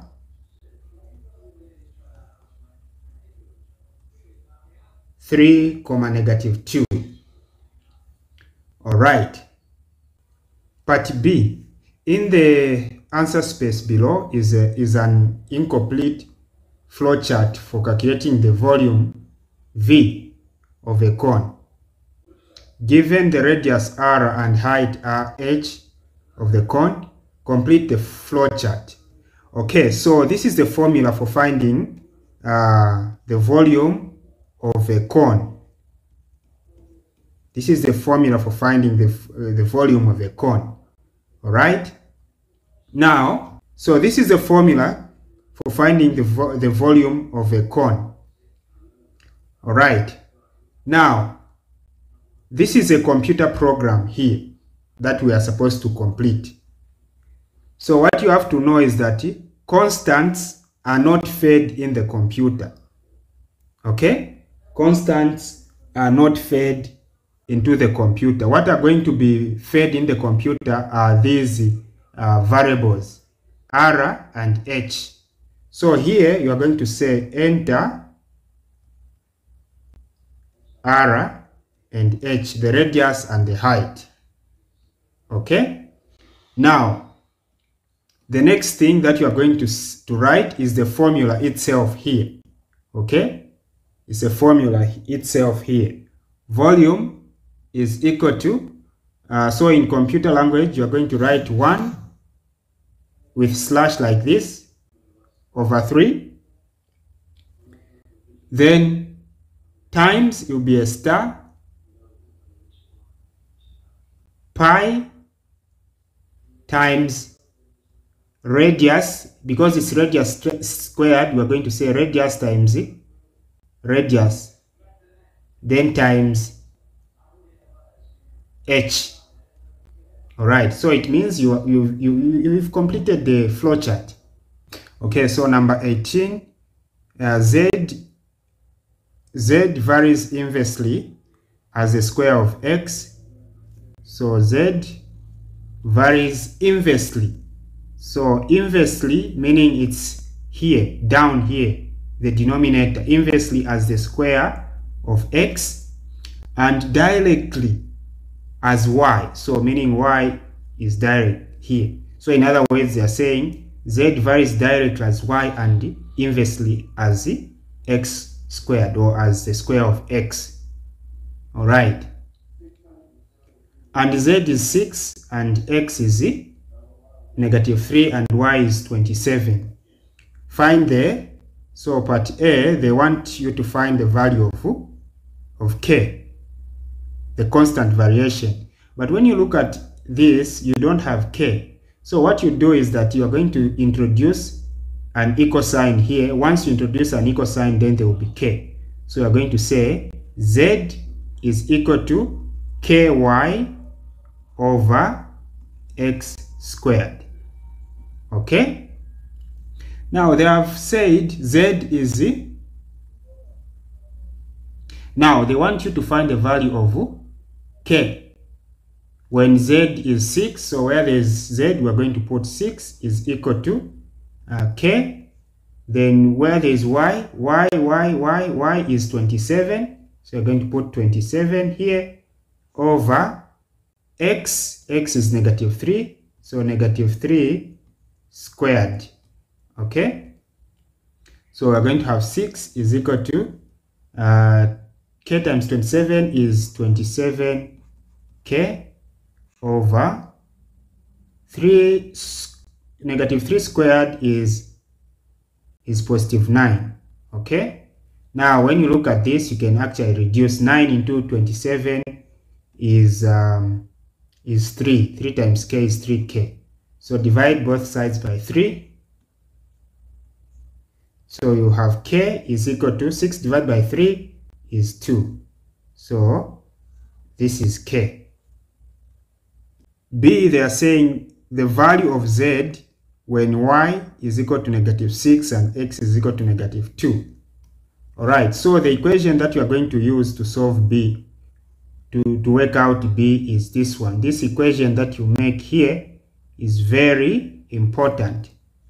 So what you are going to say is, so this is B, uh, Z is equal to Ky over x squared okay? So they want you to find z when y is negative 6 and x is negative 2 okay? So we're going to say k we found k is 2 so we're going to say 2 times y y is negative 6 okay negative 6 over x is negative 2 so negative 2 squared okay 2 times negative 6 is negative 12 then negative 2 squared is, is 4 positive because everything is in brackets. Okay, so negative 12 divided by 4 is negative 3. So this is the value of z. Now let's look at part C, the last one. Values of x when y is equal to 8 and z is equal to 1. So again, this equation, the, the, first equation is very important. So z is equal to ky over x squared. Okay. So they want you to find the value of the values actually, not only one, but values of x.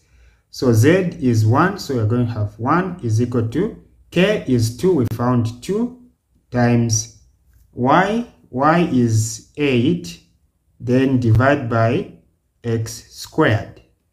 Okay? So you're going to have 1 is equal to 2 times 8 is 16 over x squared. So cross multiply here, you are going to have x squared is equal to 16. So to find the value of x, you take square roots on both sides then you are going to have x is equal to plus or minus the square root of 16 is 4. So therefore x is equal to negative 4 or x is equal to positive 4. Alright, this is the answer. Alright, question 19a says, Paul invest 50,000 kwacha in a government bond at 9% simple interest per annum. How much will the bond be worth after three years? All right, so here, uh, first of all, you need to find the interest. And then after finding the interest, you come and add it back to, to, the, to the principal. Okay? So, first of all, you find interest. So this is simple interest. So simple interest is given by the formula uh, interest is equal to the principal times the rate times time PRT divided by 100 okay? This 100 comes from the from the rate because the rate is 9 percent. So percent out of 100 all right so the principal is the is the amount that is being invested. Okay? So we're going to have 50,000 times the rate is 9 so just write 9 because in the formula we already have uh, a, a, hundred okay? Times time time we've been given three years. So times three.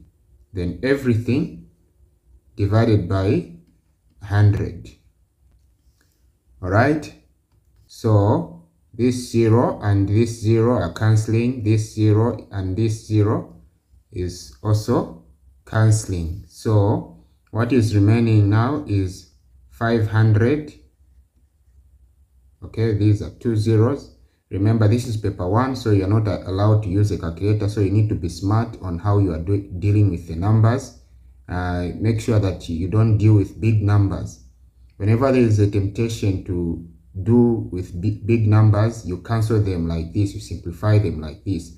So here we are remaining with 500 uh, times 9 um, times 3 okay this is becoming easier all right so here again you need to be careful because this is paper one. Uh, you can say 500 times 3 okay?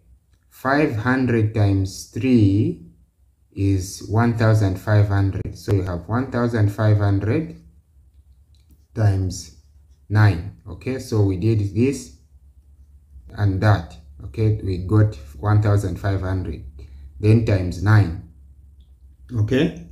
So since you have zeros like this you can just say you can multiply it this way 1500 uh, times times 9 like this okay? So 9 times 0 is 0 then 9 times 0 again is 0 9 times 5 is uh, 45 so you write 5 uh, carry 4 9 times 1 is 9. 9 plus 4 is 13. Okay, so this is the interest. Okay, 13,500 is the interest. Is the interest that was earned in three years. Now, for you to find uh, the total bond, okay, so now we're going to say total bond total bond is going to be equal to um, the principal which is 50,000 plus interest okay? So this is the interest and the, the principal is uh, 50,000 kwacha so 50,000 kwacha plus the interest which is 13,000 kwacha 13,500 kwacha and this gives uh, 63,500 kwacha. So this is the bond in in in in in three years. Then let's look at b. So question b says two cylindrical tins are geometrically similar the radius of the base of the smaller tin is 6 centimeters and that of the bigger tin is 9 centimeters. So here you can say smaller tin, you have two, remember you have two similar tins, you have smaller tin and you also have a bigger tin. And then the radius of the smaller tin is uh, 6 centimeters so 6 centimeters and that of the bigger one is 9 centimeters. Okay? 9 centimeters. So given that the volume of the bigger tin is uh, uh, 108 cubic centimeters. So we've also been given uh, the volume of the bigger one to be 108 cubic centimeters. So they are saying, given that the volume of the bigger tin is 108, which is the one that I've written there, find the volume of the smaller tin. Okay, so first of all, for you to find the volume here, uh, you need to write this radius uh, into a ratio. So you have 6 to 9, okay, 6 to 9. But when you look at these ratios, uh, they can be reduced. You can see that 3 can go into 6 uh, 2 times and 3 can go into 9 uh, 3 times. Alright, after doing that, because you are looking for the volume, okay? Because you are looking for the volume, and remember, you have to remember that volume is measured in cubic units. So because of that reason, you are going, you are supposed to uh, cube. You are supposed to raise the ratio, uh, each of the numbers in the ratio to the power uh, 3, okay? Because you are dealing with volume. All right. So, uh, 2 cubed is same as 2 times 2 times 2, which is 8, 2. And then 3 cubed is same as 3 times 3 times 3, which is 27. So now this is the ratio that you are going to use to find the volume of the smaller tin. So remember, uh, the volume of the bigger tin, we've been given that is 108. So 108, you are going to write it here under the ratio of the bigger tin, which is 27. You write it under 27. So 108. Okay. Then um, we don't know the volume for the bigger tin. So now what you are going to do is you are going to cross multiply here. All right. So you're going to say 8 ax times 27, it will be 27x is equal to, okay, 8 times 108, okay, 8 times 108. So please, when you reach at this stage, no need of uh, multiplying and finding the value here because this is paper 1 and you are not allowed to use a calculator. If you multiply and find the value here, uh, you are going to have big number a big number here which is going to be very difficult for you to work with so to find the value of x you are going to divide by 27 both sides of this equation okay like this so this and that cancels you have x is equal to at this stage uh, you can see you can simplify okay um, 9 can go into 27 three times. Then 9 can go into 10 one time. Then remainder 1.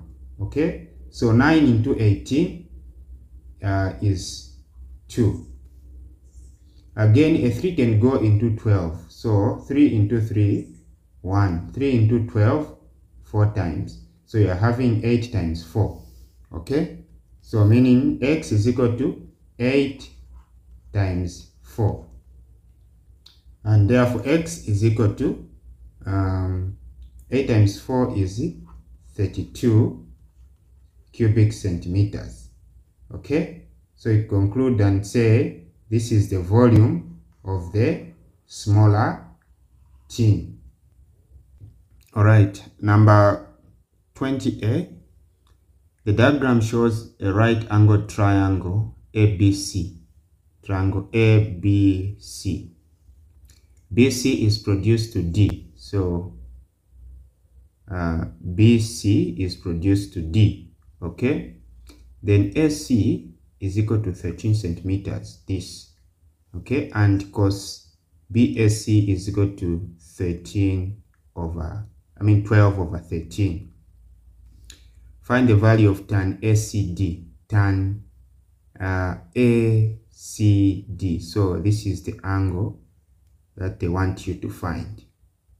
tan ACD. Right, how are we going to find that? First of all, uh, you need to write uh, which is going to help you uh, know the sides. Okay, so SOHCAHTOA, so Katoa. Okay, now the secret is here. This is the secret where the secret of everything is because they are saying cos BAC cos BAC. So what is which angle is this BAC? BAC. So they are talking about this angle here. Okay? The cosine of this angle is equal to 12 over 13. Okay, now because they are talking about cosine in our SOHCAHTOA here, so we'll go here where there is CAH and the C here is symbolizing cosine. Okay, cosine is equal to adjacent. A is for adjacent and H is the hypotenuse. So now when you are looking at this angle here, which side is the adjacent? So the adjacent is the side that is attached to this very angle apart from the hypotenuse. So the adjacent is this one here. So this is the adjacent. Okay? And then the hypotenuse is this one, hypotenuse. When you are referring to this angle. Okay? So cosine BAC. Cosine BAC. The cosine of this angle is equal to, according to SOHCAHTOA uh, here, is adjacent, this adjacent here over hypotenuse. Now, when you look at the adjacent here, so this means that the value for the adjacent is 12 here. This side is 12. So the value for the adjacent is 12. So here you have 12. All right? It's 12 centimeters um, yeah so that you when you say adjacent over hypotenuse you go back to 12 over 13 all right so now the question is saying find the value of tan ACD tan ACD so this angle here. Now this angle is an obtuse angle. So you cannot find the tan of this angle without finding the tan of this angle here. Okay? So tan from SOHCAHTOA is equal to opposite over adjacent. So if you are referring to this angle here, then the opposite is this one. This one now becomes the opposite. Then which one becomes the adjacent? The adjacent is a side that is attached to the very angle other than the hypotenuse. So this now becomes the adjacent. All right. So meaning since this is missing here, this side is missing here, for us to find uh, the tan of this angle here, we are supposed to find this side first. So now how are we going to find that side? We'll apply uh, Pythagoras theorem. Pythagoras theorem says if you want to find the long the longest side, this one, the hypotenuse, you are supposed to add the square of this side and the square of this side. Now, if you've been given the hypotenuse and one side, one of these sides, it means that you are supposed to uh, subtract the square of this side and then find the square to find this side here.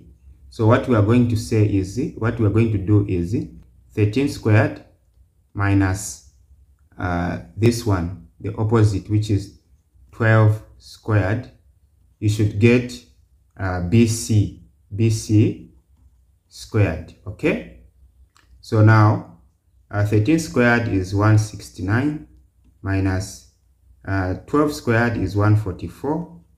It should get BC squared, okay? 169 minus 1, 144 is 25 is equal to BC squared.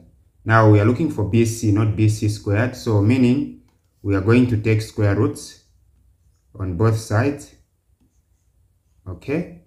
So the square root of 25 because this is distance. We are not going to have two roots. We use the positive one. There's no way you can have a negative distance. So this is distance. You're going to pick a positive square root of 25 which is 5 is equal to BC so BC here is 5 all right? So now we can go ahead and find the tan of this angle okay so that we use this tan this the tan of this angle to find this one that they are looking for. So let's find the tan of this angle. So tan a c b is equal to what is tan according to SOHCAHTOA here is opposite over adjacent. So if you are referring to this angle the side that is opposite to this angle is this one where there is 12. So we're going to have 12 over um, adjacent. Adjacent is this one here. The side that is attached to this angle other than the longest side, the hypot which is the hypotenuse. So here we have 5. Okay? So now that we know what tan ACB is, now for us to find this external angle here, this one here, we'll just include the negative because this is the obtuse angle. Okay, so we're going to say, therefore, uh, tan of ACD, tan ACD,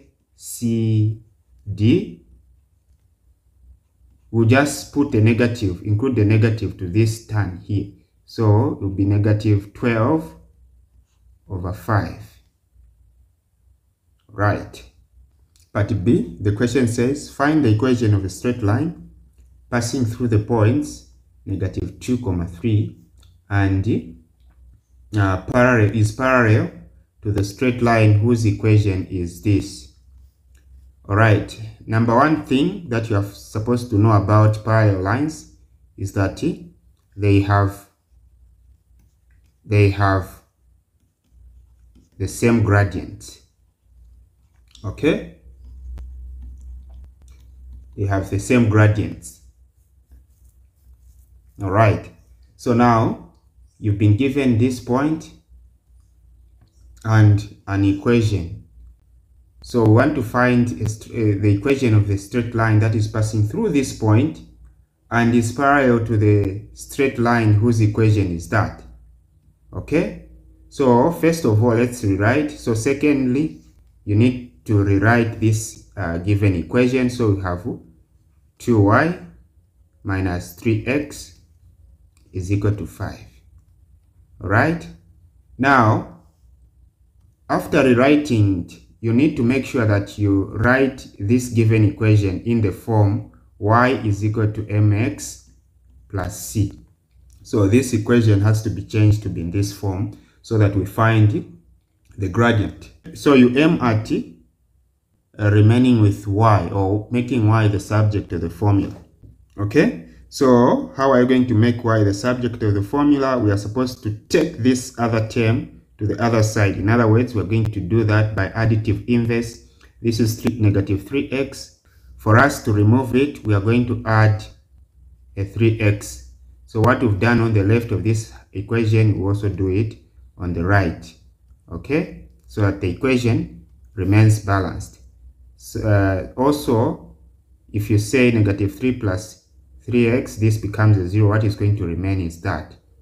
So you have 2y, uh, this becomes a 0, is equal to, or this is actually 3x, okay?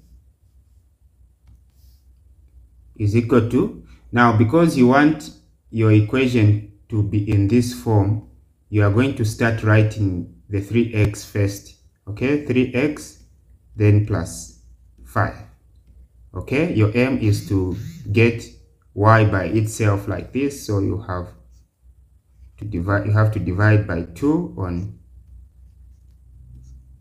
each terms okay? So this that cancels then you have y is equal to um, 3 over 2 x plus uh, 5 over 2. Alright.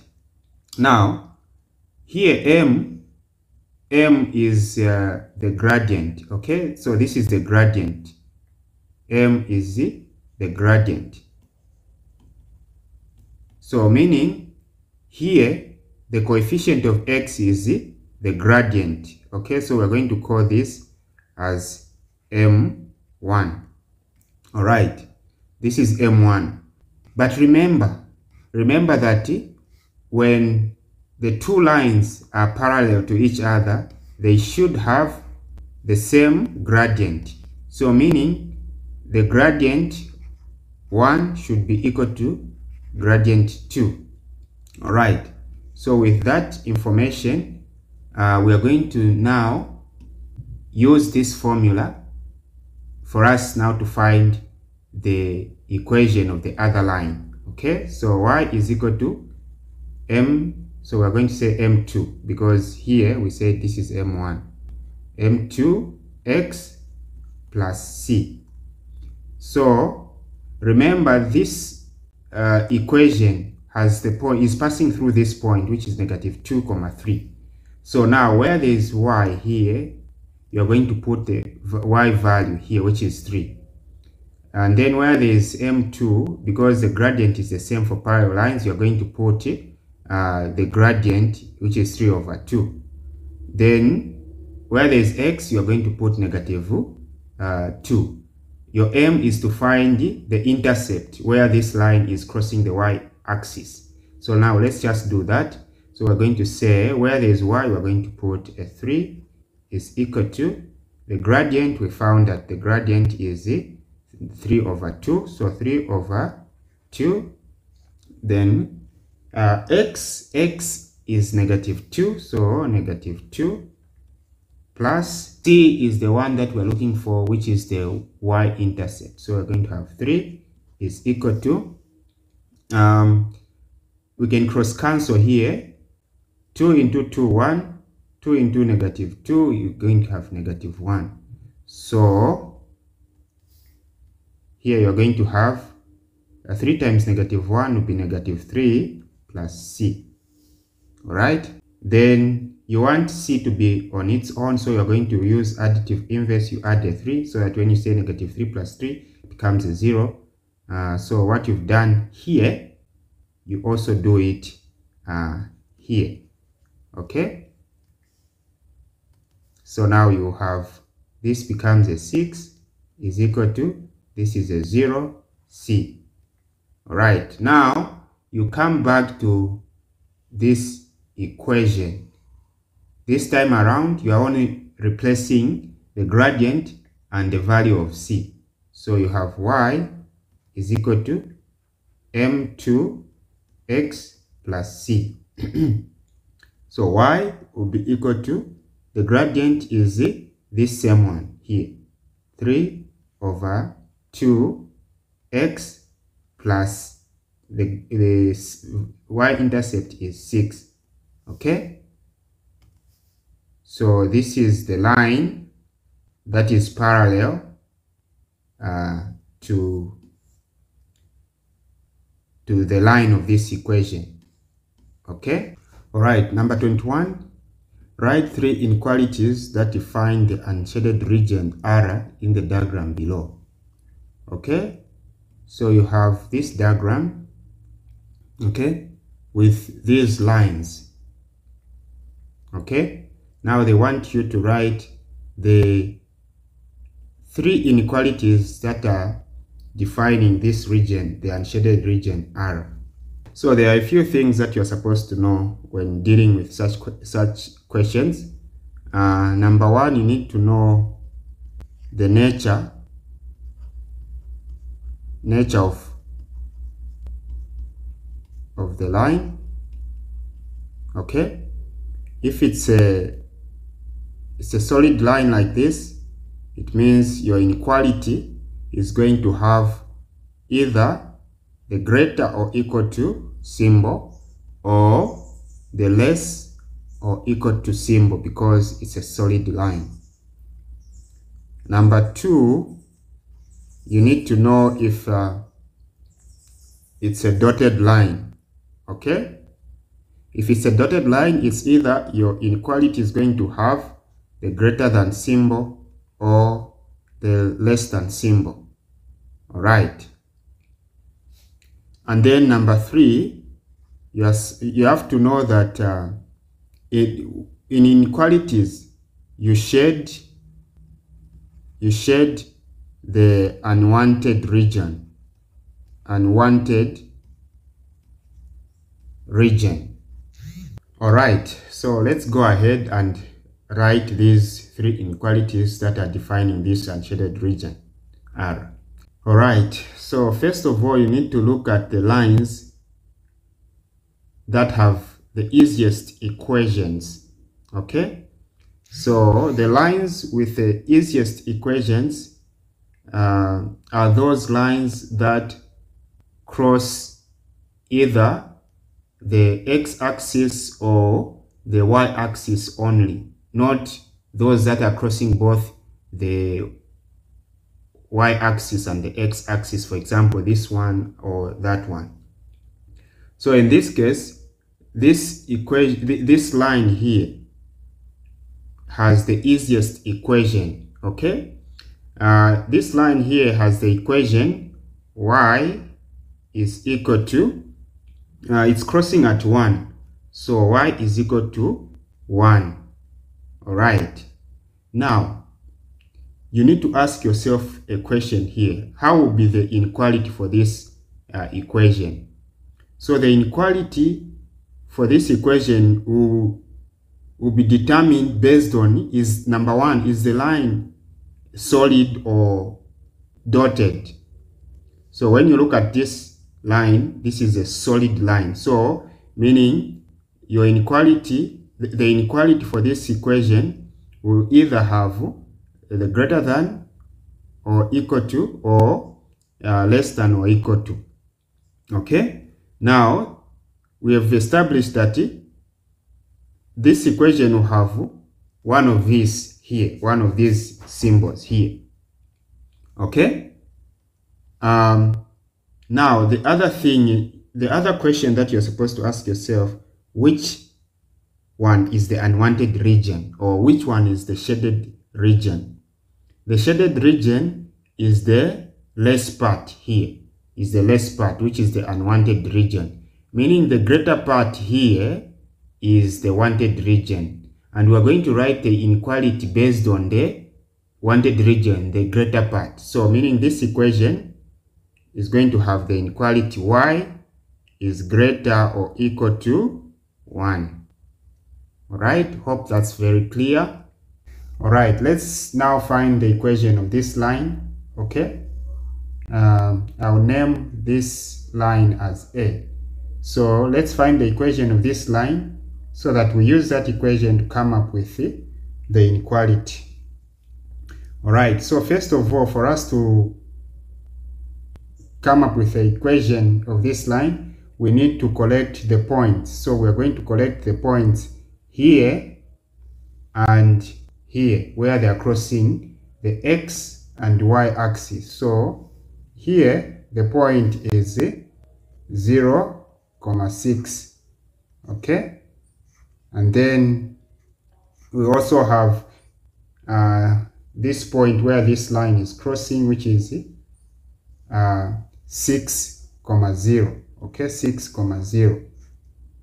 So now we're going to use these points to come up with a gradient of this line. Okay, so gradient m is given by uh, y2 minus y1 uh, over x2 minus x1.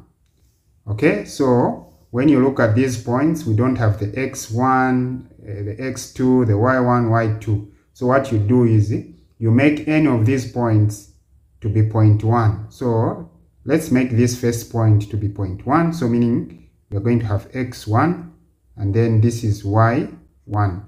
This will be uh, x2, then y2. All right.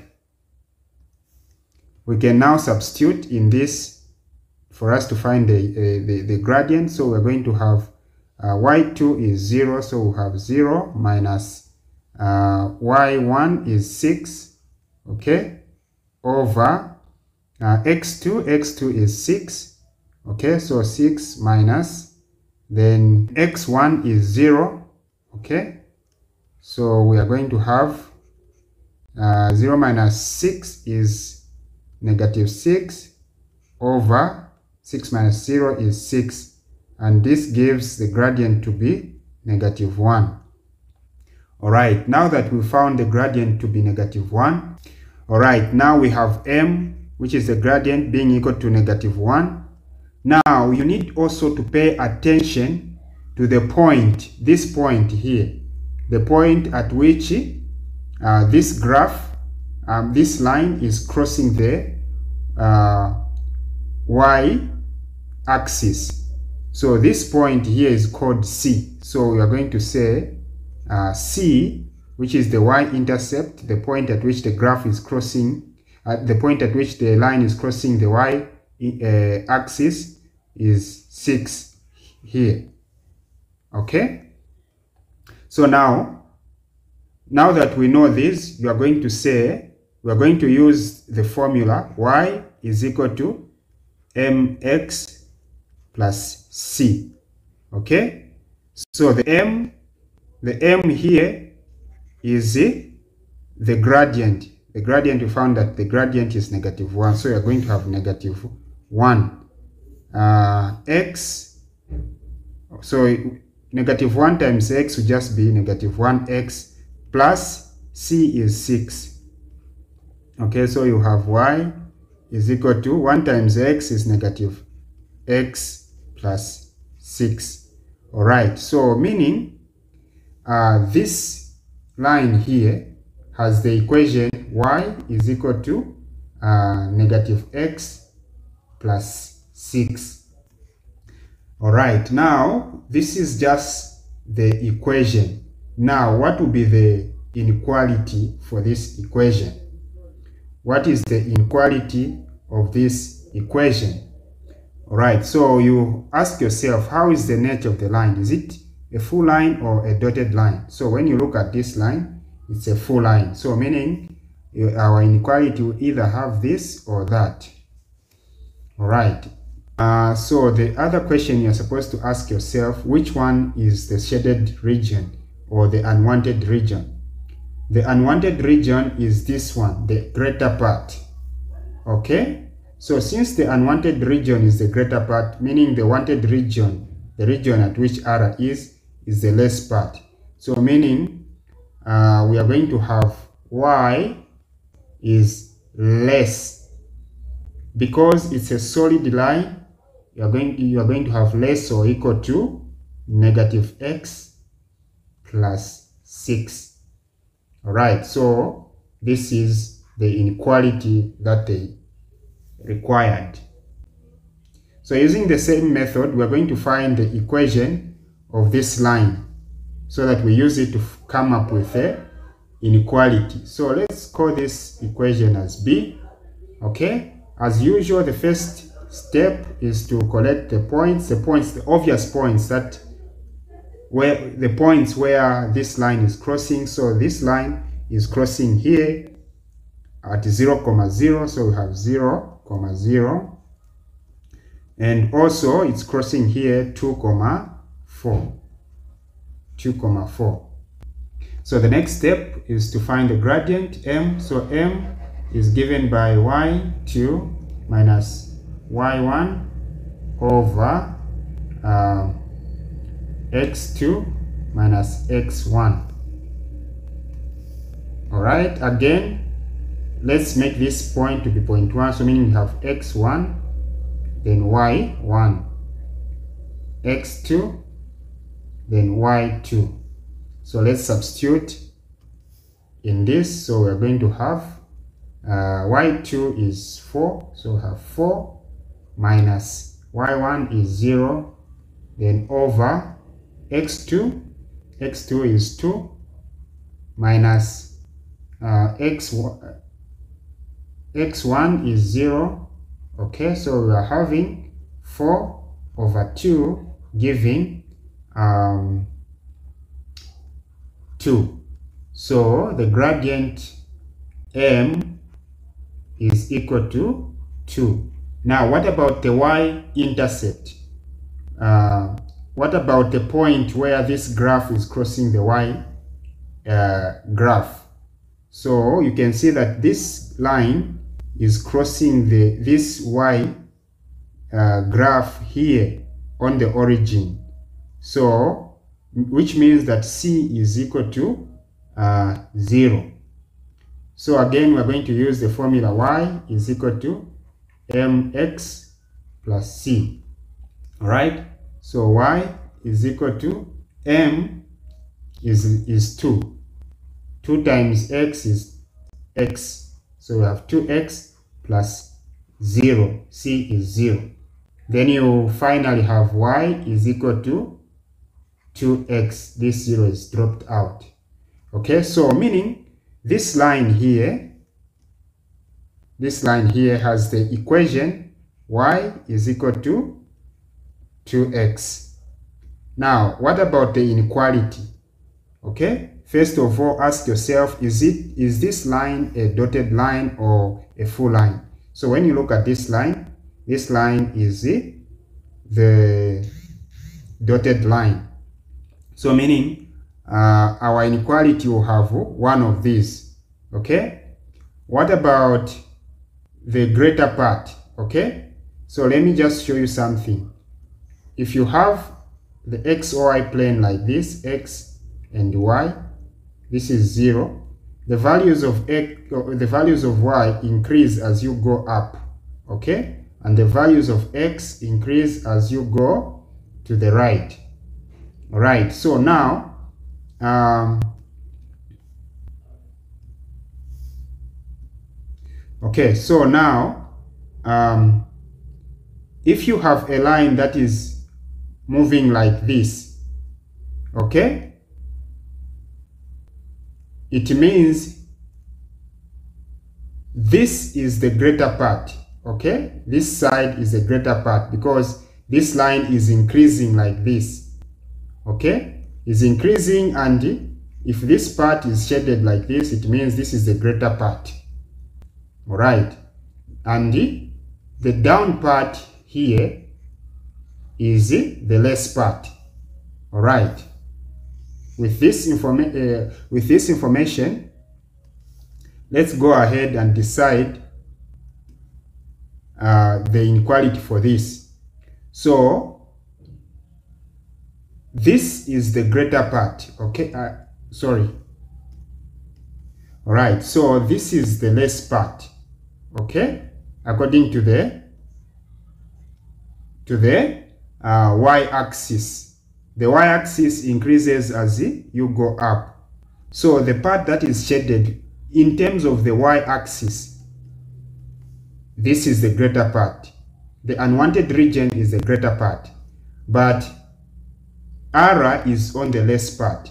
So meaning uh, here you are going to have Y is less than, less than because this number one, this is the, the dotted line and also uh, is on the less part. So R, so Y is less than 2X. All right. So the, the inequalities that define uh, the region R are these that we found here. Okay. Where's the other one? The other one is here. Right. So remember to write these, your answers in the space uh, provided here. Okay. So we have y greater or equal to 1, then y less than 2x. Okay, this one here. Then y is less or equal to negative. y is less or equal to negative x plus 6. All right. All right. Question 22, part A says integrate uh, this function with respect to x okay so um, one thing that you have to know is that if, for example, they tell you to integrate a function ax uh, to the power n with respect to x, which means dx, uh, this means that uh, you are going to add a 1 to the power, which is n, so you have n plus 1, then divide by the new power which is n plus 1 so meaning you are going to have uh, a x to the power n plus 1 then over the new power which is n plus 1 and because this is an indefinite integral it has no limits you are going to add a constant c plus c. So integration means uh, you just add a, a, a 1 to the power and then divide by the new power. Okay, so we are going to use this principle here when integrating this.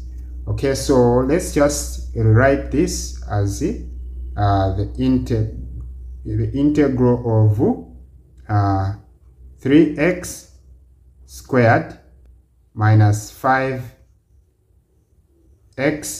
plus 9 over x cubed then dx because we are integrating with respect to x.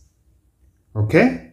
So now before we apply this we need to change this fraction here. So this is same as the integral of uh, 3x squared minus 5x then this one is same as plus 9 times uh, 1 over x cubed. Okay?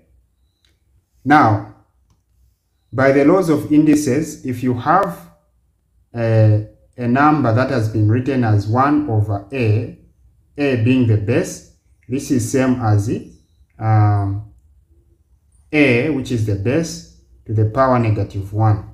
So we are going to write uh, this this like this. So in our case here we have 1 over x cubed. So we need to rewrite this in this form. So we're going to have the base x to the power uh, negative 3. Okay? So meaning here we are going to replace x to the power negative 3. Alright. So we are going to have the integral of 3x squared minus 5x uh, plus, uh, 9 times x to the power negative 3 or oh, here there's dx okay? We are integrating with respect to x. So with respect to x dx like this. All right so now we can apply uh, this. Okay so let's apply that. So to every every power we're going to add a 1 and then divide by the new power. So we're going to have 3x squared plus 1 over 2 plus 1 then minus 5x to the power 1 plus 1 because 5x is same this x is same as is, is being raised to the power 1 okay? Then over 1 plus 1 then plus uh, this is 9 uh, so we're going 9 times x to the power negative 3 is just 9 x to the power negative 3 plus 1 over negative 3 plus 1, then plus C. All right, hope that's clear. Hope that's clear. Then we just have to simplify this. So we are going to have uh, 3 x to the power 2 plus 1 is 3, then over the new power which is 3, then minus uh, 5, then x to the power 1 plus 1 is x squared or we have a 2 then over the new power then plus um, 9x negative 3 plus 1 is negative 2 okay? Over uh, the new power which is uh, negative 2 then plus c okay uh, now what we're going to do is we're going to simplify further. These three and these three will cancel. What we are going to have to remain with is x to the power 3 minus uh, this is going to be 5 uh, x squared over 2 then here um, you have a negative number negative 9x to the power negative 2 divided by a negative number which is negative 2 so meaning you are going to have a negative here okay? Um, then 9x to the power negative 2 over 2 plus c. All right so now we need to change this also back to a fraction form by applying uh, this okay? Let's just change that so that we have the final answer. So we are going to have uh, x to the power 3 minus 5 x squared over 2 then uh, minus so this is same as 1 over x squared. 1 over x squared times 2 so we are going to have 9 okay? 9 over 2x squared plus c.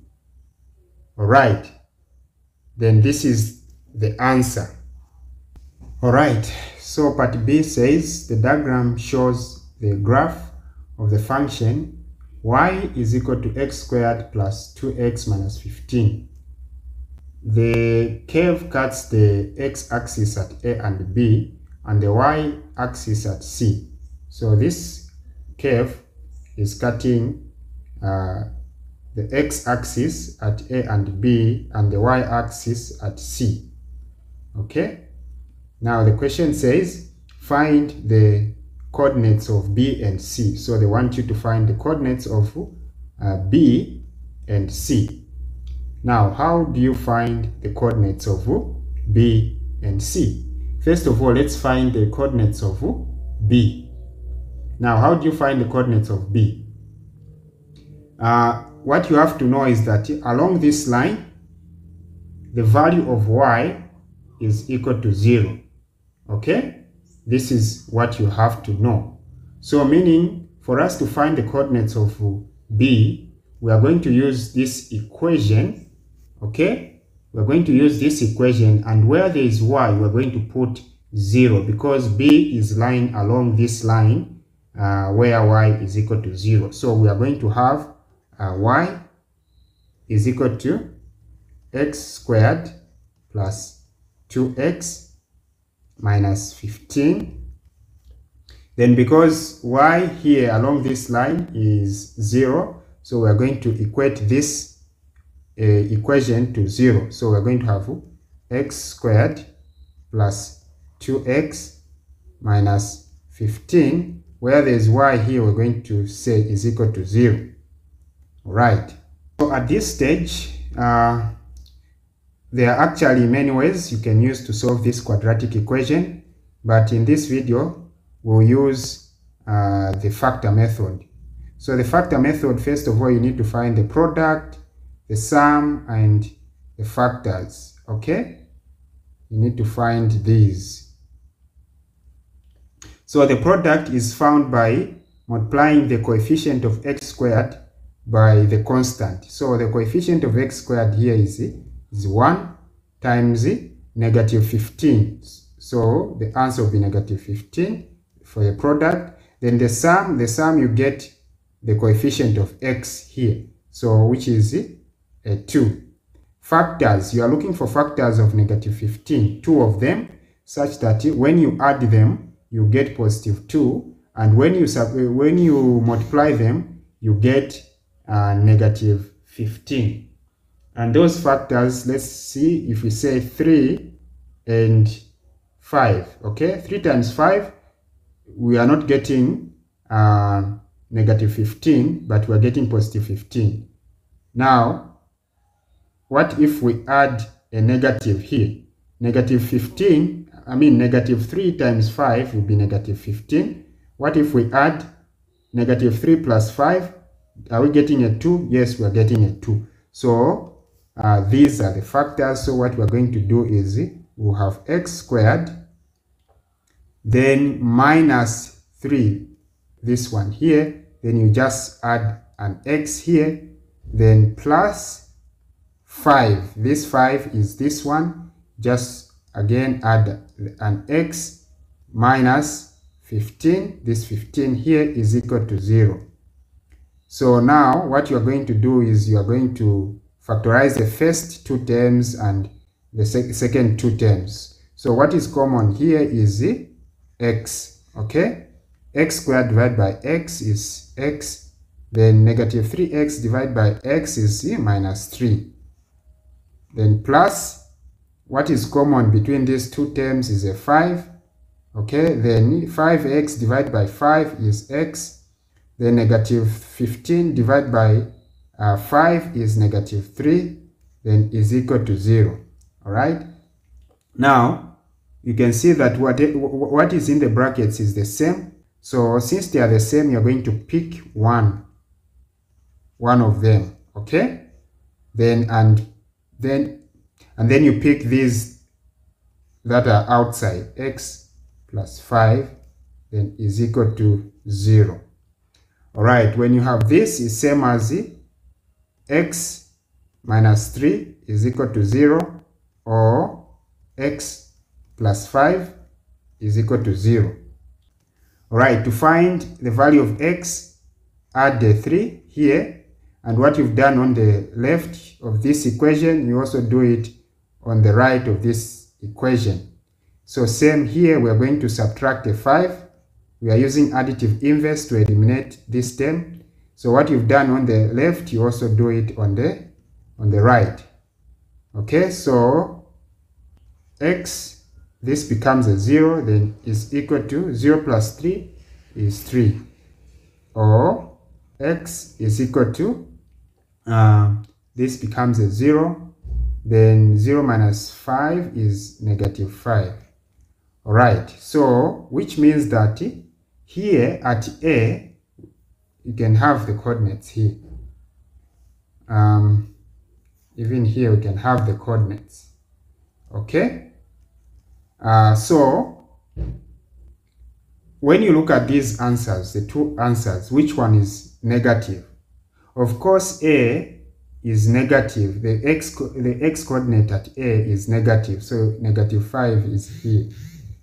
Because this is 0, the origin and then this is the negative part on the left. So remember along this line, y is 0, so you have 0 here. So now, which means that the positive one is for b. Okay, so 3 here, and then 0. All right. So, but in the question, they haven't asked us to find the coordinates of A. So meaning this is this is out. Okay? Meaning this is out. So we are only interested in this. So b coordinates are 3 comma 0 okay? All right what about c coordinates? Here c coordinates. Again what you have to know is that along this line the value of x is 0 okay so meaning we are going to use this equation, okay, y is equal to uh, x squared plus 2x minus 15 to find, to also find the coordinates of, of uh, c. But remember, along this line, the value of x is 0. So meaning everywhere where there is x in here, we are going to replace a 0. So we are going to have y is equal to uh, 0 squared plus 2 times 0 minus 15. Okay, so the whole of this thing here is a 0. 0 minus 15 is uh, minus 15. Okay, so so which means that the coordinates here, uh, remember, x is 0. So you have 0, comma, negative 15, negative 15. So these are the coordinates of B and C. The coordinates of B and C. The last part of this question, they want us to find the minimum value of y. Okay? They want us to find the minimum value of y. So the minimum value of y is given by y is equal to 4ac minus b squared over 4a. So please, you need to keep this formula. It's very useful. Okay, so this is the formula for finding the minimum value of y. Okay, and also we need to make use of this equation here. We need to make use of this equation here. So the equation, which is this one here, y is equal to x squared plus 2x minus 15. Okay, let's just clean up here so that our work looks neat. Okay, let's just clean up here, clean up like this. All right, so this equation is very useful. Okay, so you can see that we've used this same given equation to find all the values, all the to answer all the questions that we were asked. So now we need to locate or to identify what A, B, and C are. So A is usually the coefficient of x squared. So in this case here we have an invisible one. So A is 1. Then B is the coefficient of uh, the x. So in this case we have a 2. Then C is the, the constant, in this case negative 15. So all we need to do is just to replace this in here. Okay, so we're going to have 4 uh, times A is 1 times 1 times uh, C, C is negative, uh, negative 15. Then minus B, B is what? B is, is a 2 and it's being squared. Then all over 4 times, then all over 4 times 1. A is 1 here. Okay? So, you are going to simplify here. 4 times 1 is 4. 4 times negative 15 is negative 60. Then minus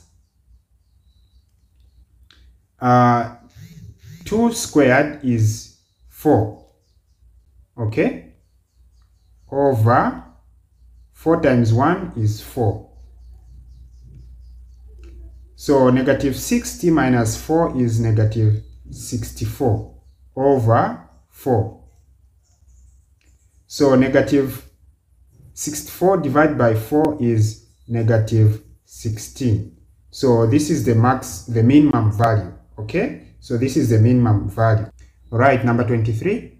The following diagram is a speed time graph of a car. The car starts from rest and accelerates uniformly at 3 meters per second squared for 4 seconds until it reaches a speed of v meters per second. It then travels at this constant speed for 80 seconds. It finally comes to, the, to, to, to rest after t seconds. Okay, so they are saying the car started from rest. So here, rest means from zero and accelerated for accelerated at 3 meters per second squared in 4 uh, 4 seconds find the value of v. Find the value of v. So we want to find the value of v. So we want to find the value of v, which is the, final velocity. Okay, so we can write the data. So data first, which is going to help us. So u, which is the initial velocity, is 0. Then v, which is the final velocity, is the one that we are looking for. Time, time is actually uh, 4 seconds, 4 seconds. Okay, now at A, they want us to find the value of V. So how are we going to find the value of V? We are going to find the value of V by using the formula for finding acceleration. Okay, uh, we've been given that acceleration in this case is uh, 3 meters per second squared. So 3 meters per second squared is the acceleration. So for us to find the value of v, we are going to use the formula for finding the acceleration, which is acceleration is equal to v, which is the final velocity, minus u, which is the initial velocity over uh, time taken. Okay, so we have been given acceleration, which is 3 meters per second. So where there's a, we're going to put 3 is equal to the final velocity v is the one that we are looking for. So we have v minus the initial velocity is z, uh, 0. So we're going to put 0. Then divided by time. Time is 4 seconds. So we're going to put 4 here. All right. So we're going to have 3 is equal to v, eh, v minus 0 is just v over 4. Okay. So we can cross multiply here and then we are going to have 1 times v is v is equal to 3 times 4 is 12 meters per second. So the value of v is 12 meters per second. So you can even write it down here and say v is equal to 12 meters per second. All right. Uh, part B, they want you to find the average speed for the first 12 seconds. The average speed for the first 12 seconds. So they are talking about you finding the average speed when the car was moving from, from here to there up to here in 12 seconds here. Okay? So they want you to find the average speed when the car was moving uh, here under this graph, the one that I've highlighted. All right, so since they want us to find the average speed, so speed, remember from physics, speed is given by uh, distance, distance divided by time, okay? Now, in our case, we've been given time as 12 seconds here in the first 12 seconds. Then, do we have distance? We don't know the distance. We don't have the distance d. Okay. Now, how do you find the distance? How do you find the distance? So distance, first of all, there are actually many ways you can find the distance, the total distance that the car covered in the first 12 seconds. So, but in this case, I'm, I'm going to show you one method uh, of just looking at this shape. When you look at this shape, this is a trapezium. So for you to find the distance, you're going to use the formula for finding the area of a trapezium. The area of the trapezium is equal to the distance. Okay, so distance is equal to the area of a trapezium is half uh, a plus b times the height. Okay? So, this is always a. The distance from here up to there is a. Then the distance from here up to there is b. Then the height, this is the height. In this case, the height here, we found that v is 12. So the height is 12 here, okay? So what you are going to do now is just to substitute. So you have 1 over 2. Then A is the distance from here up to there. So for you to find this distance here, you're going to say 12 minus 4. 12 minus 4 is 8. Okay, so you have 8 plus B. B is the total distance from here to there. Okay, so in this case, we have 12. Okay, the height, the height is 12 also. So 12. Okay, so we're going to have um,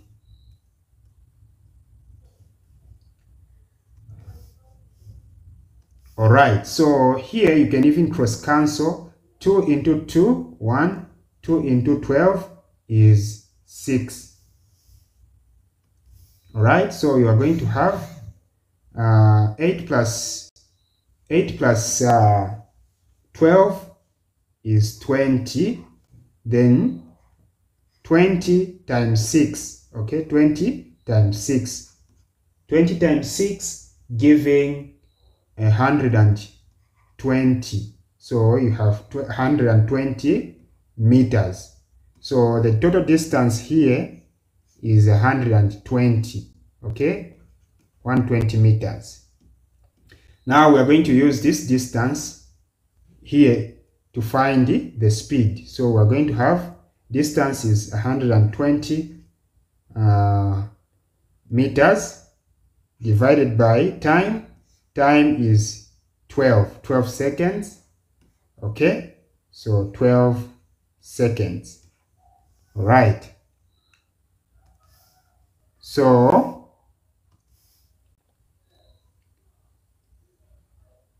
Twelve into twelve, so twelve into twelve, one. Twelve into twelve, one. Twelve into zero is just zero. So meaning then you have meters divided by seconds. So which is meters per second. So you have 10 meters, 10 meters per second. So this is the speed at which this car uh, traveled at in the first 12 seconds. So the speed is um, 10 meters per second. All right, but C says uh, find the value of t here. The t is here. Find the value of t if the speed at t is equal to 14 is 4 meters per second. So they want us to find the value of t uh, if the speed at t at when the time is 14 so meaning 14 is somewhere somewhere here so 14 and the time is 14 uh, they are saying the speed is uh, the speed here is uh, 4 meters per second. All right so how do we uh, answer such a question? Okay so remember here the final velocity here we found that it's 12 okay 12 meters per second. All right so we can see that when the car was moving from zero to this point the initial velocity u was zero and the final velocity we found that v is 12 okay so meaning when the car will be going in the other direction the opposite direction like this as the car will be decelerating uh, this now becomes the initial velocity 12 this value now becomes the initial velocity okay so for us to find the value of t first of all we need to find the deceleration okay the deceleration along this line okay so you can see that since the the line is like this straight like this uh, dropping like this it means that the deceleration or the acceleration here is constant. So first of all, we need to find the acceleration here. Okay, so how are we going to find the acceleration? So we have u here. Then we are going to take this as the final velocity. v here will be 4 meters per second okay meters per second and then uh, yeah so we're going to say first of all let's find the acceleration so acceleration is given by uh, the final velocity v minus u over time. All right. So we're going to have acceleration is equal to the final velocity in this case is this one here the 4 meters per second. So 4 minus the initial velocity is this the 12 meters. Okay. Then over. So we're going to subtract we're going to find the, di the difference here. We're going to say 14 minus 12 to find the difference in time here. Since we are moving from here uh, yeah up to here. So we're going to find the difference in time. 14 minus 2 uh, 14 minus 12 is 2 so I'll just write it as 14 minus uh, 12 okay? So we're going to have 4 minus 12 is negative 8 then 14 minus 12 is 2 positive 12 positive 2 then negative 8 divided by 2 is negative, uh, 4 meters per second squared. So the acceleration is negative because it's a deceleration it's a deceleration okay? So meaning along this line this is the acceleration negative 4 meters per second all right. So now we are going to take this. This will remain as u so we use so we're going to use this point and this point to find the value of t. So you can you can give this point a name. Let's say this is point a and then this is point b. Okay? All right. So here u is 12 and then here we have t the time. So if if this is the initial velocity then when you hit the x-axis here along the x-axis the final velocity v is zero. Okay?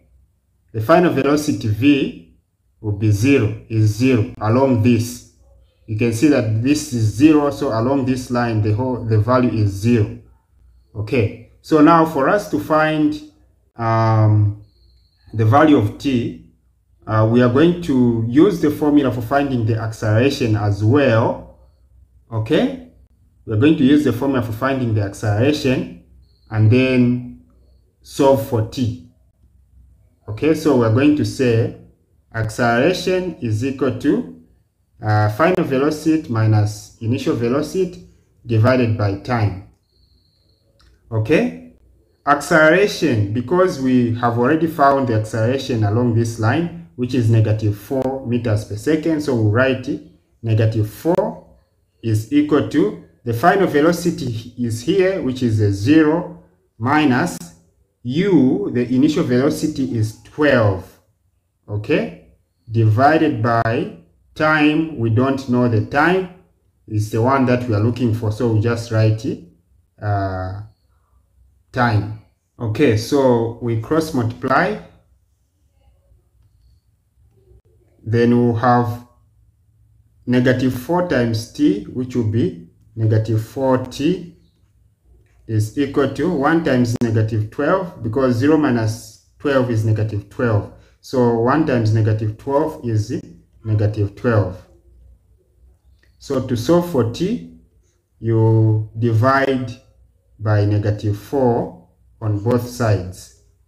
Okay, so these negative 4s will cancel then you have t is equal to uh, negative negative will cancel will be positive then 12 divided by 4 is 3 all right so here the time is is 3 we found that the time is is 3 so meaning from the initial time 12 here for us to reach here we are going to add a 3 uh, seconds. So time, you are going to say, therefore, time uh, t is equal to uh, this is 12 the initial one is 12 so 12 plus 3 which is equal to uh, 15 seconds. Meaning here at t you have 15 seconds. Okay? All right. Uh, thank you very much for watching. If you are new to this channel consider subscribing hit the like button and share